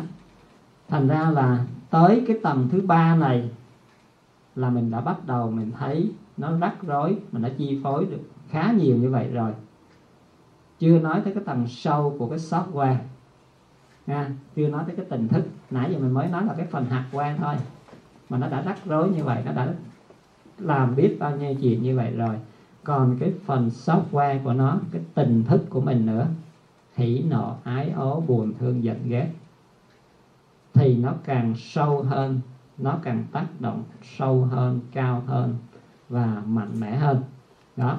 Rồi bắt đầu lên tới cái tầng thứ tư là cái năng lượng tâm linh vô hình. Nó điều khiển mình trong lúc mình tỉnh thức trong lúc mình đi vào giấc ngủ lúc mình vào hôn mê lúc mình thoát ra khỏi cái thân vật lý này nữa. Thì như vậy nó càng càng càng cao hơn nữa. Thì cái này um, có lẽ là tối nay chúng ta sẽ nói tiếp nha.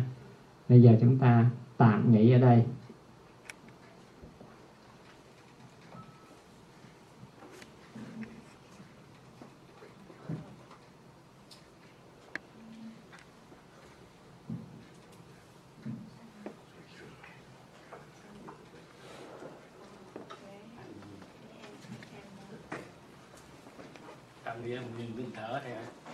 Nghỉ em nói nữa nghỉ em ơi nghỉ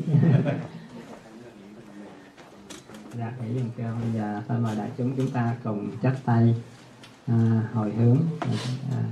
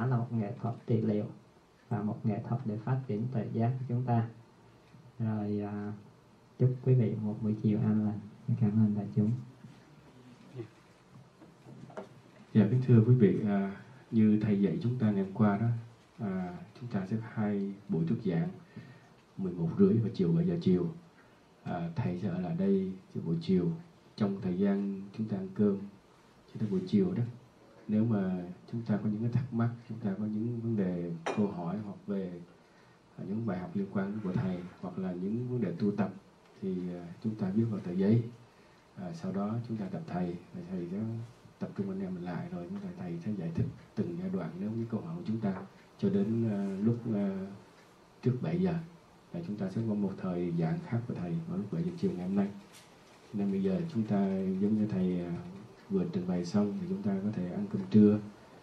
Và chúng ta ăn cơm trong chánh niệm đó là chúng ta ăn thoải mái tĩnh lặng. Vậy là thưa anh à, thưa bác như vậy mình dùng cơm ở đâu? Thầy ở đây rồi đó. Dạ, thì à, chúng ta xuống dưới uh... thì nó còn hấp thụ được một phần khác. Nhưng mà nếu mình ăn sau 7 giờ mà dĩ nhiên nếu mà cả ngày không ăn thì buổi tối giờ ăn sao? Ăn bù phải không? Mà tư giãn nó đẩy độc tố ra. Bây giờ mình đưa thức ăn vào. Thì đây cũng là một cách. Thứ nhất là nó gọi là lãng phí cái cái thức ăn. Ha? Ở đây cũng là một cái để lãng, nó bị lãng phí cái thức ăn. Nếu như nếu như mà mình lãng phí thức ăn nhiều quá, thì mình sẽ bị tổn cái gì? Tổn cái âm đức tại vì cái này nó một cái năng lượng của vũ trụ quý vị.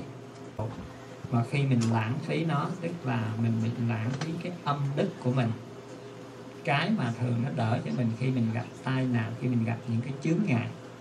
À, cái đó nó đỡ cho mình gọi là cái âm đức. Mà lãng phí thức ăn tức là lãng phí năng lượng này là cái mà nó làm tổn cái âm đức của mình nhiều nhất. Nhưng mà trong thực tế mình chưa thấy cái đó.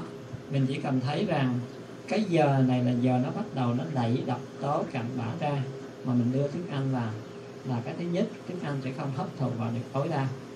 Cái thứ hai cặn bã độc tố sẽ không đẩy ra được. Và nếu mà mình ăn ít ít thì còn được. Còn là cả ngày không ăn thì tối về thì mình thường có cái, cái xu hướng là ăn bù. Phải không? Mà ăn bù tức là nó làm một bụng đầy nhóc mà cái giờ này là giờ người ta bắt đầu nghỉ ngơi rồi. Bây giờ quý vị bắt nó làm việc, thì nó làm việc được bao nhiêu quý vị? Bây giờ quý vị à, đang cần tiền, phải không? Ông chủ kêu mình làm overtime chừng vài tiếng đồng hồ. Mừng chưa? Ở nhà không có bận rộn gì, tranh thủ làm. Nếu mà mình làm chừng vài ba tiếng một ngày, vài ba ngày thì ok nhưng mà ngày nào cũng làm overtime. Năm ba tiếng vài ba tiếng. Ngày nào cũng như ngày đó chừng vài ba tuần lễ thôi là mình bắt đầu mình thấy đuối liền với khách thấy mệt mỏi liền. Thì cái thân mình cũng vậy.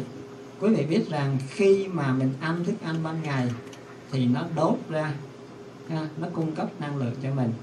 Nếu giả sử còn dư một tí xíu thì nó còn đủ cái thời gian để nó tổng hợp lại thành ra những cái mình gọi là những cái sản phẩm được đóng gói đóng hộp đúng tiêu chuẩn. Trong trường hợp này tức là cái glycogen ha, tức là cái tinh thể đường dự trữ. Rồi nó mới bắt đầu nó đem vào cái kho của mình là trong gan hay là trong cơ bắp ha. nó sẽ đem vào ở trong gan nó dự trữ trong gan cho mình. Hay là nó đem vào trong các cái cơ bắp này nó dự trữ. Để khi mà mình không có cái nguồn năng lượng và mình không ăn đó thì nó bắt đầu nó chui vào những cái kho đó, nó lấy ra, nó đốt lại. À. nhưng mà khổ thay thì nó cũng hết giờ làm việc rồi. Chẳng hạn như quý vị 5 giờ đóng cửa 4 giờ rưỡi mình xong việc, mình còn được chừng 15 phút mình đi, mình dọn dẹp, mình sắp xếp cái gì mình bỏ trên kệ trên tủ, phải không? Mình quét dọn, mình hút bụi, hay mình gom rác ra, rồi mình chuẩn bị tới 5 giờ thứ năm mà mình tắt đèn, khóa cửa, mình đi về tỉnh giác đàng hoàng, sạch sẽ, ngăn nắp ngày hôm sau mình vô cái office của mình, hay cái văn phòng của mình, hay chỗ làm việc của mình nó tương tất. Nhưng mà công việc nó nhiều quá.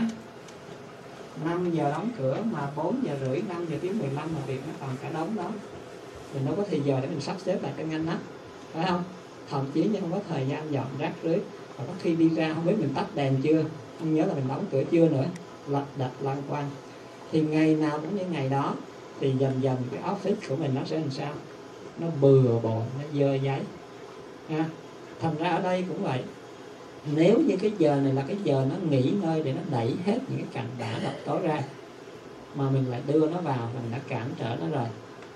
Rồi thêm nữa là cái giờ này là cái giờ nó nghỉ ngơi, nó không còn làm việc, nó không cần tiêu thụ năng lượng nữa, mà mình đưa cái thức ăn vào.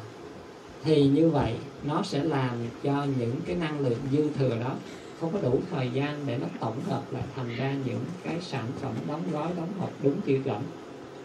Rồi nó cũng chẳng có thì giờ để nó đem vào kho, nó cất đúng. Phải làm việc giúp cho hệ miễn dịch nữa. Là tại vì thức ăn, thức uống, thuốc mình uống vào tất cả những cái đó, cái nào có chất độc, nó phải biến cho thành ra bớt chất độc hay hết chất độc trước khi nó thải ra, chứ không nó sẽ làm tổn thương những cái phần khác của cơ thể rồi nó còn trợ giúp với cái lá nó thành ra khi mà nó bị làm việc liên tục như vậy thì nó sẽ không có cái thời gian để thanh lọc, đào thải, độc tố, nghỉ ngơi. Rồi nếu như quý vị thấy rằng nếu mà mình ăn tối trễ thì rất là khó đi ngủ được sớm, phải không? Mà khó đi ngủ sớm thì làm sao sáng mà dậy được? Buổi sáng là đúng tiêu chuẩn là mình phải dậy cái giờ này nè quý vị. Trung đạo 4 giờ sáng. Đó là lý do tại sao quý vị thấy ở miền trung của mình đó, hay là ở các nước mà Phật giáo thịnh hành cái giờ 3 giờ rưỡi cho đến 4 giờ sáng thường là cái giờ đó các chùa phải thỉnh đại hồng chung. Để làm gì? Cái giờ này là cái giờ mình thỉnh đại hồng chung để mình đánh thức cái chúng vô hình nó rút về trời. Thì khi mà mình đánh tính thức mình và thức cái chúng đó, khi mình thức dậy thì mình ngồi dậy. Phải không? Tại vì theo nguyên lý của lực hấp dẫn à theo nguyên lý của lực hấp dẫn thì khi mà mình nằm ngang như vậy thì tất cả những cái cặn bã độc tố gì nó sẽ settle down ở dưới cái trunk của mình, dưới lưng của mình những cái khí độc, những cái hán khí gì đó nó sẽ đi lên cái vùng bụng của mình. Nó đâu có thể đẩy xuống được, nó không thể đẩy lên được. Phải không? Thành ra khi mà mình chỉ cần ngồi dậy thì ngay lập tức những cái gì nặng có trọng lượng có lực hút trái đất nó sẽ kéo xuống. Cái gì nhẹ nó sẽ bay lên. Thì như vậy tự thân nó, mình không cần làm gì. Cái lực hấp dẫn của trái đất đã giúp mình thanh lọc cơ thể mình mà phân loại ra cái nào nặng, cái nào nhẹ, cái nào độc, cái nào không độc nó đẩy ra. Cộng thêm với cái sự cộng hưởng của cái lực hút của cái chúng vô hình khi nó rút về trời, nó tạo một cái lực hút chân không. Thành ra nó sẽ kéo ra cái lực âm của mình nhiều hơn nữa, tức là những cái thám khí, những cái độc khí của mình nhiều hơn nữa cái thứ ba nữa, nó vi tế hơn. Nó vi tế hơn nữa là cái giờ này á, đã có bậc, những bậc thánh đã nhìn thấy được cái chúng phi nhân này, nó rất là thông minh. Tại vì chúng phi nhân này có ngũ thông, quý vị. Cái chúng phi nhân này nó có ngũ thông, ha. Thành ra nó nhìn được cơ thể mình và nó biết được cái năng lượng của mình. Cái giờ này là năng lượng của mình sung mãn nhất thành ra chẳng hạn như nếu mà mình không dậy cái giờ này mình hay ngủ mê á thì cái giờ này là cái giờ mình thường thấy mình bị bị mộng. Ha thường thấy bị mộng. Nam giới thì mình thấy mình à, bị à, mộng du mộng tinh tức là mình giao hợp mình xuất tinh. Nữ giới thì bị mộng giao. Ở cái giờ này là khá nhiều. Tại sao? Thật ra đó là gì? Do cái chúng phi nhân nó biết được cái giờ này là cái giờ năng lượng trong cơ thể mình sung mãn nhất thành ra nó hút cái tinh khí của mình, cái năng lượng của mình. Đó. Và cái đó khoa học chứng minh rất rõ ràng. Quý vị thấy rằng tất cả những cái trường hợp mà mình bị đường trong máu lên cao, mình bị cái TIA là cái tiền stroke đó, ra, huyết áp cao cũng khoảng cái giờ này. Tại sao như vậy?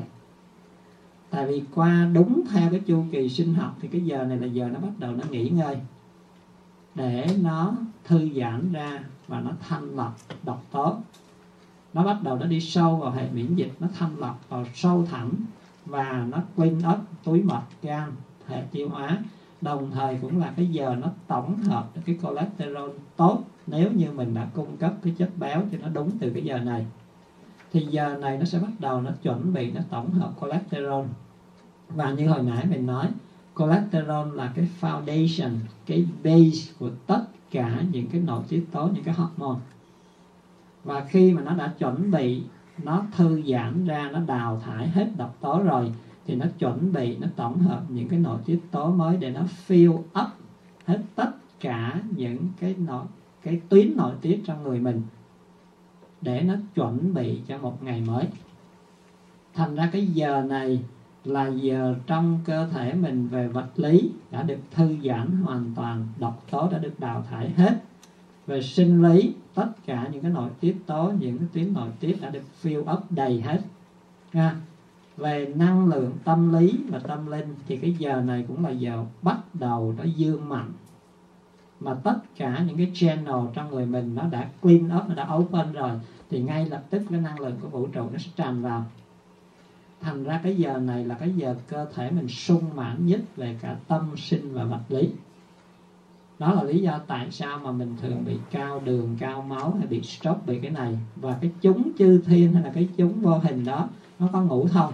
Nó thấy được cái giờ này là cái giờ năng lượng mình sung mãn nhất. Và nếu như mình không vội vàng mà đánh thức, mình dậy đánh thức nó đi về, thì nó sẽ hút cái sinh khí, cái tinh khí của mình. Ha thành ra, đó là lý do tại sao chư tổ bắt mình phải dậy cái giờ này để công phu tọa thiền và phải tánh thức đại hồng chung để thức nó đi về, chứ không mình sẽ bị mất cái năng lượng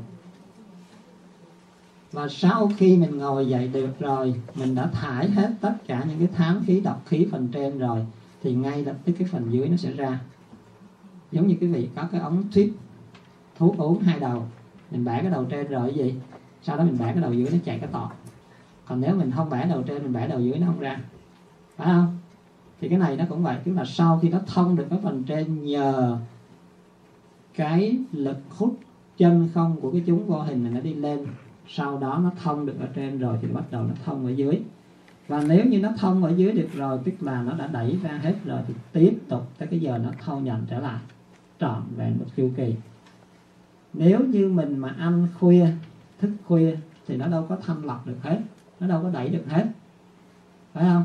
Thì nếu như vậy thì tất cả những cái cặn bã độc tố còn lại trong người mình, tất cả những cái channel của mình chưa có clean up, chưa có open hết.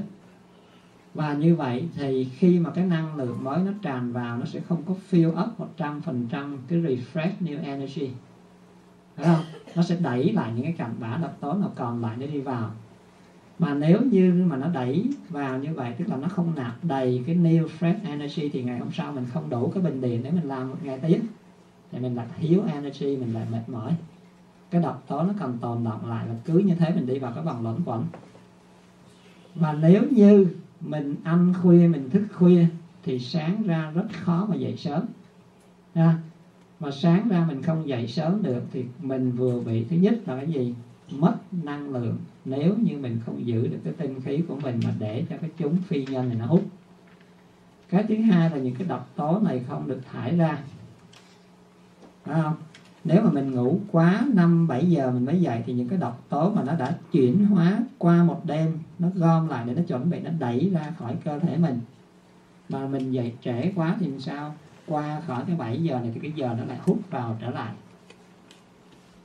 thành ra quý vị thấy nếu như quý vị đi vệ sinh mà ở cái giờ này trước, đi rất dễ dàng. Mà đi qua khỏi cái giờ này rồi thì nó rất là khó. Đó, thành ra nếu như mà mình chỉ qua khỏi cái giờ này thì tất cả những cái cạnh bản độc tố này nó sẽ lại đi vào cơ thể mình. Và cơ thể mình, các cái cơ quan, gan, mật thận ruột già nó phải làm việc thêm một lần nữa để nó chuyển hóa, nó đẩy cái độc tố đó ra. Tốn thời gian, tốn năng lượng vô ích. Quý vị thấy chưa? Thành ra khi mà mình làm đúng thì nó sẽ dẫn mình theo đúng hết. Mà khi mình làm sai, thì nó sẽ dẫn mình sai hết. Nếu như mình không nhận diện để mình cắt cái chu kỳ sai của mình đi. Cũng như quý vị thấy, cái giờ này nè, ha, cái giờ này là cái giờ mà tại sao mình có con em còn nhỏ mà mình phải cho nó ngủ sớm. Nếu như nó không ngủ sớm mà thì cái giờ này là cái giờ nó bắt đầu nó phát triển cái hệ miễn dịch. Và cái nội tiết tố tăng trưởng. Thành ra nếu như mình thức khuya, mình cho con nít mà thức khuya, cái giờ này nó không có ngủ được đủ thì cái hệ miễn dịch nó sẽ không bao giờ mạnh được. Nó không bao giờ nó phát triển tròn vẹn được. Và cái nội tiết tố phát triển và cái growth hormone nó sẽ không có không có sản xuất được đủ. Nha. Hay là những người, quý vị để ý, những người mà làm việc ca đêm không bao giờ khỏe mạnh được bằng cái người làm việc ban ngày. Tại vì những cái độc tố nó không được đào thải mà khi nó làm việc ban đêm mà sáng ra về mà lại đi ngủ liền mất toàn bộ cái giờ dương tức là mình đã hấp thụ cái năng lượng âm rồi mà mình lại không có cái năng lượng dương để quân bình lại nữa tức là mình mất trắng luôn. À, thành ra càng ngày nó càng tiêu là như vậy.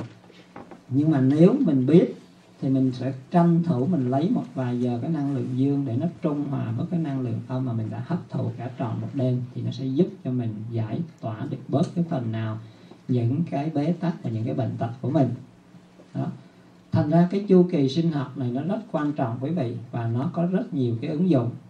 Và nếu như mà chúng ta cố gắng mà chúng ta càng làm gần với nó bao nhiêu, thì chúng ta sẽ càng dễ sống bấy nhiêu sẽ khỏe mạnh bấy nhiêu. Còn nếu như mình làm lệch nó càng nhiều bao nhiêu thì mình lại càng bị tổn hại nhiều bấy nhiêu. Và trở lại cái trưa nay mình thực tập. Cái trưa nay mình thực tập là cái ăn cơm trong chánh niệm. Đã có cái truyền thống từ thời Đức Phật còn tại thế, từ những ngày đầu tiên của tăng đoàn trước hết, tức là quý vị biết rằng năng lượng của vũ trụ, như mình nói rồi, là do vũ trụ, do đất mẹ tạo hóa sinh ra để nuôi dưỡng mình. Nhưng mà nếu không có cái tuệ giác của đức bổn sư chúng ta để chỉ dạy cho mình, thì mình không biết được. Thành ra, mình tạ ơn ngài, cũng như tạ ơn trời đất hay là năng lượng của vũ trụ để cho mình có cái appreciation, cái sự cảm ơn, cái sự biết ơn. Bởi vì nếu mà mình không làm như vậy á, thì không chóng thì chày, mình sẽ không có thức ăn. Giống như quý vị thấy rằng, bây giờ quý vị có một người bạn tốt nha nếu như mình đối xử người bạn tốt đó, mình biết trân quý người ta, mình biết tiếp đón người ta niềm nở hay mình biết chăm sóc ý người ta, thì mình có cơ hội mời người ta trở lại lần sau và lần sau nữa. Phải không? Hay là có khi mình không mời mà người ta vẫn có thể đến với mình. Còn nếu như mình có một cái người bạn quý mà mình không biết đối xử, mình không có trân trọng người ta, mình bạc đãi người ta, thì mai mốt xin lỗi mình có mời người ta cũng phải từ chối khéo, người ta không đến. Huống chi mình không mời, phải không? Thì như vậy, năng lượng của vũ trụ, nói chung và lương thực thực phẩm nói riêng, cũng vậy quý vị. Không có nó, không ai tồn tại được cả. Không có nó, không ai tồn tại được cả, quý vị. Nha. Thành ra, nó là một ân nhân của chúng ta. Thành ra nếu mình trân quý, mình trân trọng, mình biết ơn, thì như vậy mình mới có cơ hội để gặp lại. Và cái chuyện này đối với những người phương tây này thì người ta ít bị chiến tranh. Và người ta có cái sự hỗ trợ của các cái tiểu bang hay là các cái đất nước khác. Thì người ta ít kinh nghiệm hơn là người phương đông của mình. Phải không? Quý vị biết rằng chẳng hạn như ờ, ba mẹ chúng tôi nói ngày xưa ông bà ngoại á, tức là vàng á, vàng khối phải lấy thước mà đo còn cái đồng tiền vàng như mình đọc trong kinh đó, nha. Tức là cái đồng tiền vàng đó phải bỏ trong bao bố, bao tạ lấy cân tạ mà cân chứ không có đếm được. Giàu đến mức độ đó đó. Nhưng mà qua cái thời Việt Minh đó, tức là đi trốn Việt Minh mà lệnh vàng vàng như mà nó bằng lá của mình, bằng vàng vàng lường á lệnh trong lưng quần. Ngày xưa nó mang váy cái lệnh. Đi qua. Có những người ngày hôm trước là ông chủ của biết bao nhiêu vừa lúa vừa thóc nhưng mà chỉ một cơn lũ kéo qua thôi, tất cả tài sản nhà cửa cuốn theo dòng nước hết. Và chỉ phải chờ ngửa tay ra chờ những cái xuồng của các chùa đi qua cho từng bát cơm. Mà may mắn là ông vẫn còn sống. Chứ biết bao nhiêu người nó cuốn trôi sạch sẽ hết cả tài sản, cả gia đình, cả con người. Thành ra khi mà mình không còn đủ cái phước báo, cái âm đức của mình đó, thì cho dù mình có tài sản, có tiền bạc không chắc là mình có thể có mua được thức ăn à, thành ra cái mà cái động tác mà mình làm mình cúng dường chư Phật hay là mình đọc năm cái lời quán nguyện như trưa nay đó đó là cái sự tà ơn của mình cái sự trân quý của mình đối với thực phẩm trực tiếp đối với việc đạo sư hay là những cái người mà đã bảo hộ cho mình đã gìn giữ cho mình. À, thì cái đó là cái thủ tục trước hết. Thứ nhất cái thủ tục thứ hai mà quý vị thấy ở đây có bao giờ quý vị thọ mắt con trai chưa? Có, phải không? Hay là chẳng hạn như khi mình cúng giường qua đường, cúng giường trai tang, quý vị thấy trên cái bàn dài như là trên đầu bàn là quý thầy có cái chuông hay là có cái cái cái gọi là cái tăng bạc chứ không phải cái khánh.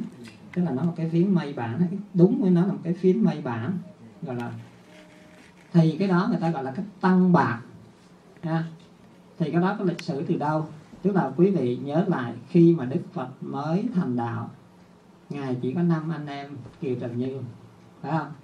Sau một thời gian ngắn thì lúc đó xá lại phất một kiền liên, mỗi người mới đem 500 người học trò của mình từ bên ngoại đạo đi qua. Thành ra, đệ tử của đức phật là từ bên ngoại đạo đi qua không à? Mà mỗi người đem có 500 là hai người được ngàn rồi. Thành ra những ông thầy đó, ông rất là ghen tức. Ông rất là ghen tức thì người ta cũng qua, người ta học nhưng mà người ta học, thứ nhất là để người ta coi để coi đức phật có thực sự là một vị đạo sư lỗi lạc tài ba hay không. Cái thứ hai là nếu không phải thì coi như trù dập hay là hủy diệt ngài luôn. Thì theo cái tinh thần ngày xưa khi tới học xong là mình thỉnh cầu, mình cúng dường. Thì những ông thầy này mới bắt đầu đi cúng dường đức phật và chư tăng đi thọ trai. Với cái mưu đồ là thứ nhất để thử nội công của mấy ông này có ra trò gì không? Nếu không ra trò là tôi hủy diệt luôn. Đúng không? Thành ra những vị thầy của một kiền liên và sáng đại phất ngày xưa là thờ rắn thờ rồng, thờ lửa. Nha. thành ra khi mà mời tới thọ trai thì trong thức ăn đã bỏ hết chất độc đầy đủ trong đó rồi. Còn ở bên ngoài thì gì? Nguyên một cái hầm lửa và hầm rắn độc. Đức phật biết, tại vì ngài có thần thông mà. Nhưng mà vì lòng từ bi muốn giáo hóa, thành ngài vẫn nhận lời. Nhưng mà như hồi trưa chúng ta đã nói, đức phật không bao giờ nghĩ mình là vị giáo chủ, bởi vì ngài, cái lời tuyên ngôn đầu tiên của ngài sau khi thành đạo, ngài đã nói là tất cả mọi người trong chúng ta, mọi loài trong chúng mình đều có cái như lai tàng đều có cái phật tánh cả. Thành ra ngài luôn luôn muốn sử dụng cái tinh thần chúng hòa hợp đó là năng lượng cộng đồng, năng lượng của đại chúng do vậy mà với cái năng lượng của lòng từ bi của ngài với cái sự hứa khả của ngài là khi ngài đi với tăng đoàn như vậy thì ngay lập tức nó đã chuyển hóa cái hầm lửa và cái hầm đánh độc nó thành ra một cái bông sen để cho ngài và chư tăng đi qua và đi vào trong cái trai đường để mà thọ thực. Nhưng mà ngay cái cơ hội đó thì ngài mới bắt đầu đó là một cái nhân duyên để cho ngài thuyết cái bài pháp và cho một cái pháp tu.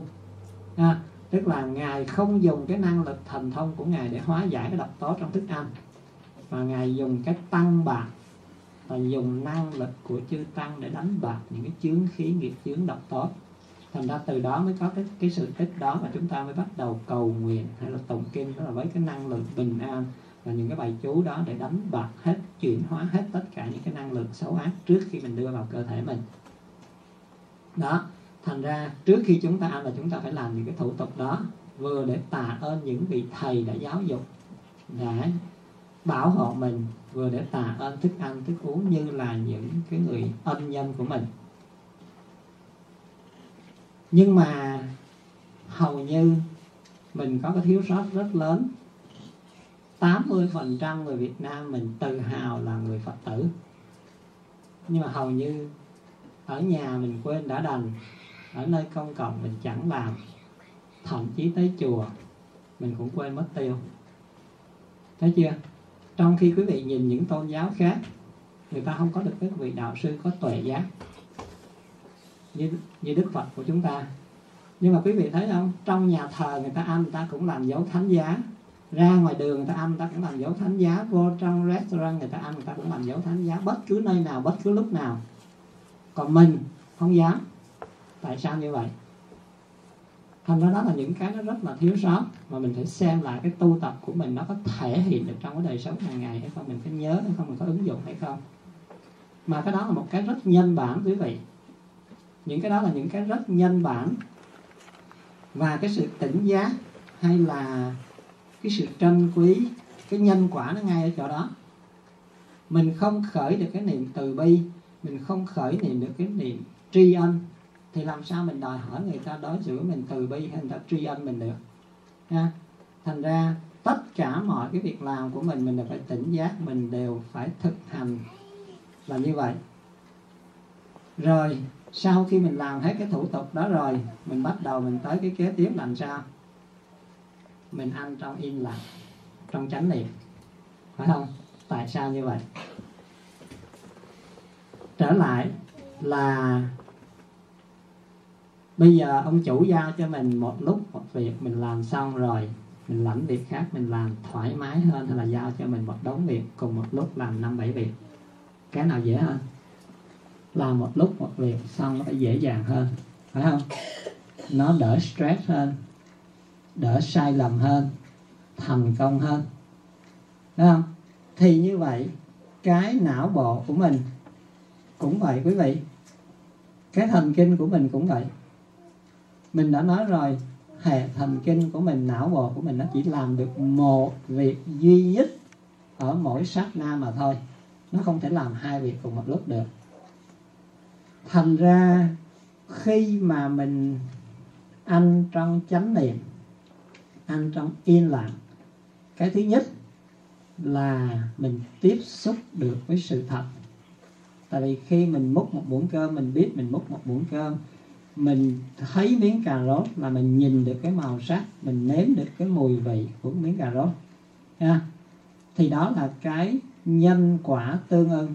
Mình tiếp nhận sự thật thì mình sẽ trở thành sự thật. Còn đằng này mình ăn mà mình không tránh niệm tức là có khi mình không biết mình đang múc cơm mình không biết mình đang ăn cái gì mình không biết mình đang nhai hay không. Tại mình lo nói chuyện mình lo coi tivi ha, mình lo đọc báo. Rồi cái thứ hai nữa là quý vị biết rằng khi chúng ta ăn, chúng ta có rất nhiều tầng năng lượng. Cái này mình chưa có nói sâu được, nhưng mà cái thứ nhất là năng lượng thức ăn qua đoạn thực, tức là qua đường miệng. Thứ hai là thức ăn qua mắt, tai, mũi, lưỡi, sự xúc chạm. Thứ ba là thức ăn qua cái cái tâm thức của mình. Thành ra đối với những người mà nấu ăn, quý vị thấy đối với những người nấu ăn thì mình bắt đầu ăn từ lúc mình khởi niệm, mình đi nấu rồi. Mình tính toán cái gì là não bộ mình nó đã chuẩn bị, nó tiết ra cái men tiêu hóa, cái dịch tiêu hóa rồi. Đối với những người không nấu ăn thì mình bắt đầu ăn khi mà cái đồng hồ nó điểm giờ. Khi mà mình nghe cái mùi thức ăn, khi mình nghe cái tiếng chén bát đổ muỗng nó khua, hay là khi mình bắt đầu mình thấy thức ăn là lúc đó nó bắt đầu nó tiết ra các cái men tiêu hóa và dịch tiêu hóa rồi và nó đã hấp thụ được cái mùi hương. Chứ không phải chờ đến lúc mình bỏ vào miệng.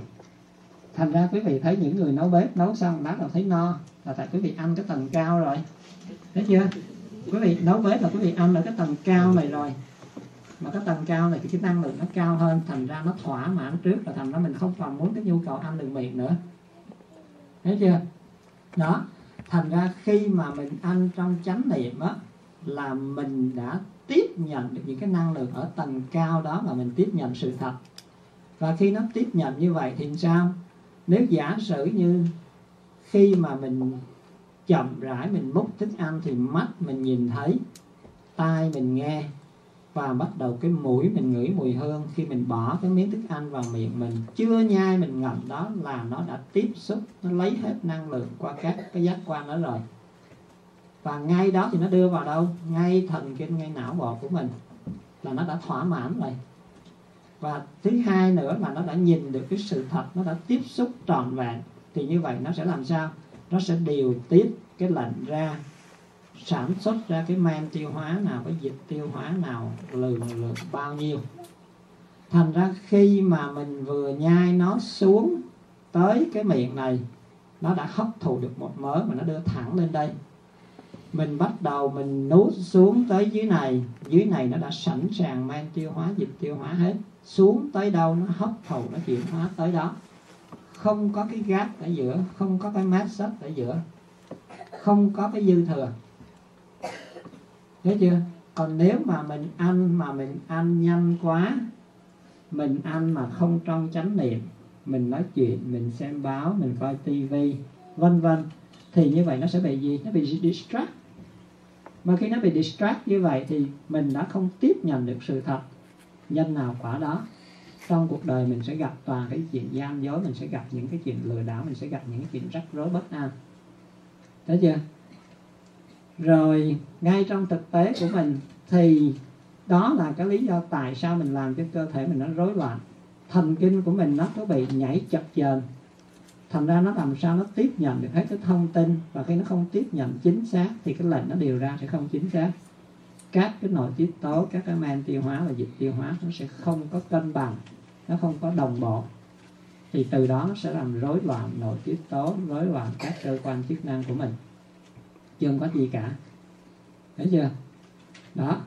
Thì cái đó là cái lý do tại sao chúng ta phải ăn chậm, ăn trong chánh niệm và khi quý vị nhai cho chậm thì quý vị biết rằng trong cái chế độ ăn của mình đó ha, trong cái chế độ ăn của mình chủ yếu là gì? Chủ yếu là tinh bột. Cái chế độ ăn cái này mai mốt mình sẽ nói tới cái này nữa mình chưa có đủ thời gian. Cái sai lầm rất nhiều khi mà mình phân bổ cái này không đúng, và cái đó là cái sai lầm của cái thế giới tây phương hiện nay, và đó cũng là cái gây bệnh và gây biết bao nhiêu cái tổn hại cho thế giới, cho vũ trụ. Nhưng mà chung quy lại, đúng là mình trong chế độ ăn của mình chủ yếu phải là tinh bột, tối thiểu phải là 2 phần 3 là tinh bột. Mà tinh bột nó chỉ được phân hủy và hấp thụ ở đâu. Quý vị để ý để coi khi mình ăn một miếng cơm nguội không có cái gì hết. Khi mình ăn một miếng bánh mì, không. Mình càng nhai lâu bao nhiêu, nó càng ngọt bấy nhiêu. Phải không? Lý do tại sao? Tại vì cái tinh bột đó nó chỉ được phân hủy bởi cái men amila trong cái nước bọt mình mà thôi. Cái men amila đó nó chỉ có trong nước bọt mình mà thôi thành ra khi mình càng nhai chậm bao nhiêu, nhai kỹ bao nhiêu, thì nước bọt mình nó tiết ra nhiều bấy nhiêu và cái men đó nó ra nhiều bấy nhiêu.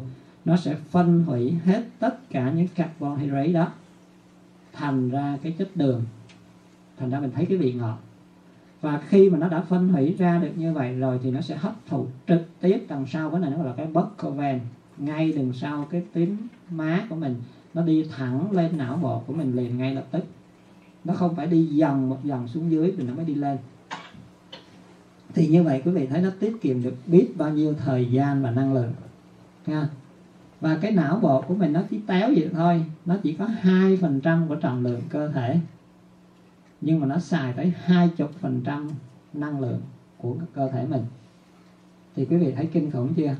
Trọng lượng chỉ bằng có hai phần trăm cơ thể, nhưng mà xài tới hai chục phần trăm năng lượng của mình. Thành ra khi mà mình đưa được nó trực tiếp lên đây nè, thì nó sẽ thỏa mãn, nó sẽ bình ổn và từ đó nó mới điều khiển được hết tất cả những cái bộ máy dưới trướng của nó. Thì đó là cái lý do thứ nhất tại sao chúng ta phải nhai kỹ và nhai chậm. Cái thứ hai nữa là quý vị thấy rằng cái nước bọt của mình đó nó cực kỳ vi diệu, nó có rất nhiều cái tính dược nó có rất nhiều cái đặc thù. Mà không riêng gì cái động vật cao cấp tối ưu như mình, những động vật bậc thấp hơn mình, tức là những động vật có vú, những động vật bò sát, và thậm chí loài có cánh, loài hai chân. Quý vị thấy cái lưỡi nó không có mềm, nước bọt nó không nhiều, nhưng mà nó luôn luôn sử dụng cái mỏ, cái lưỡi của nó, không những để làm đẹp không những để sát trùng, bắt chí, bắt rành, bắt sâu, mà nó còn dùng để hiêu linh quý vị thấy chẳng hạn như cái con chim thì quý vị thấy nó khó hơn, ha? Nó mổ, nó bắt chim, bắt sâu, bắt rầy, bắt rành.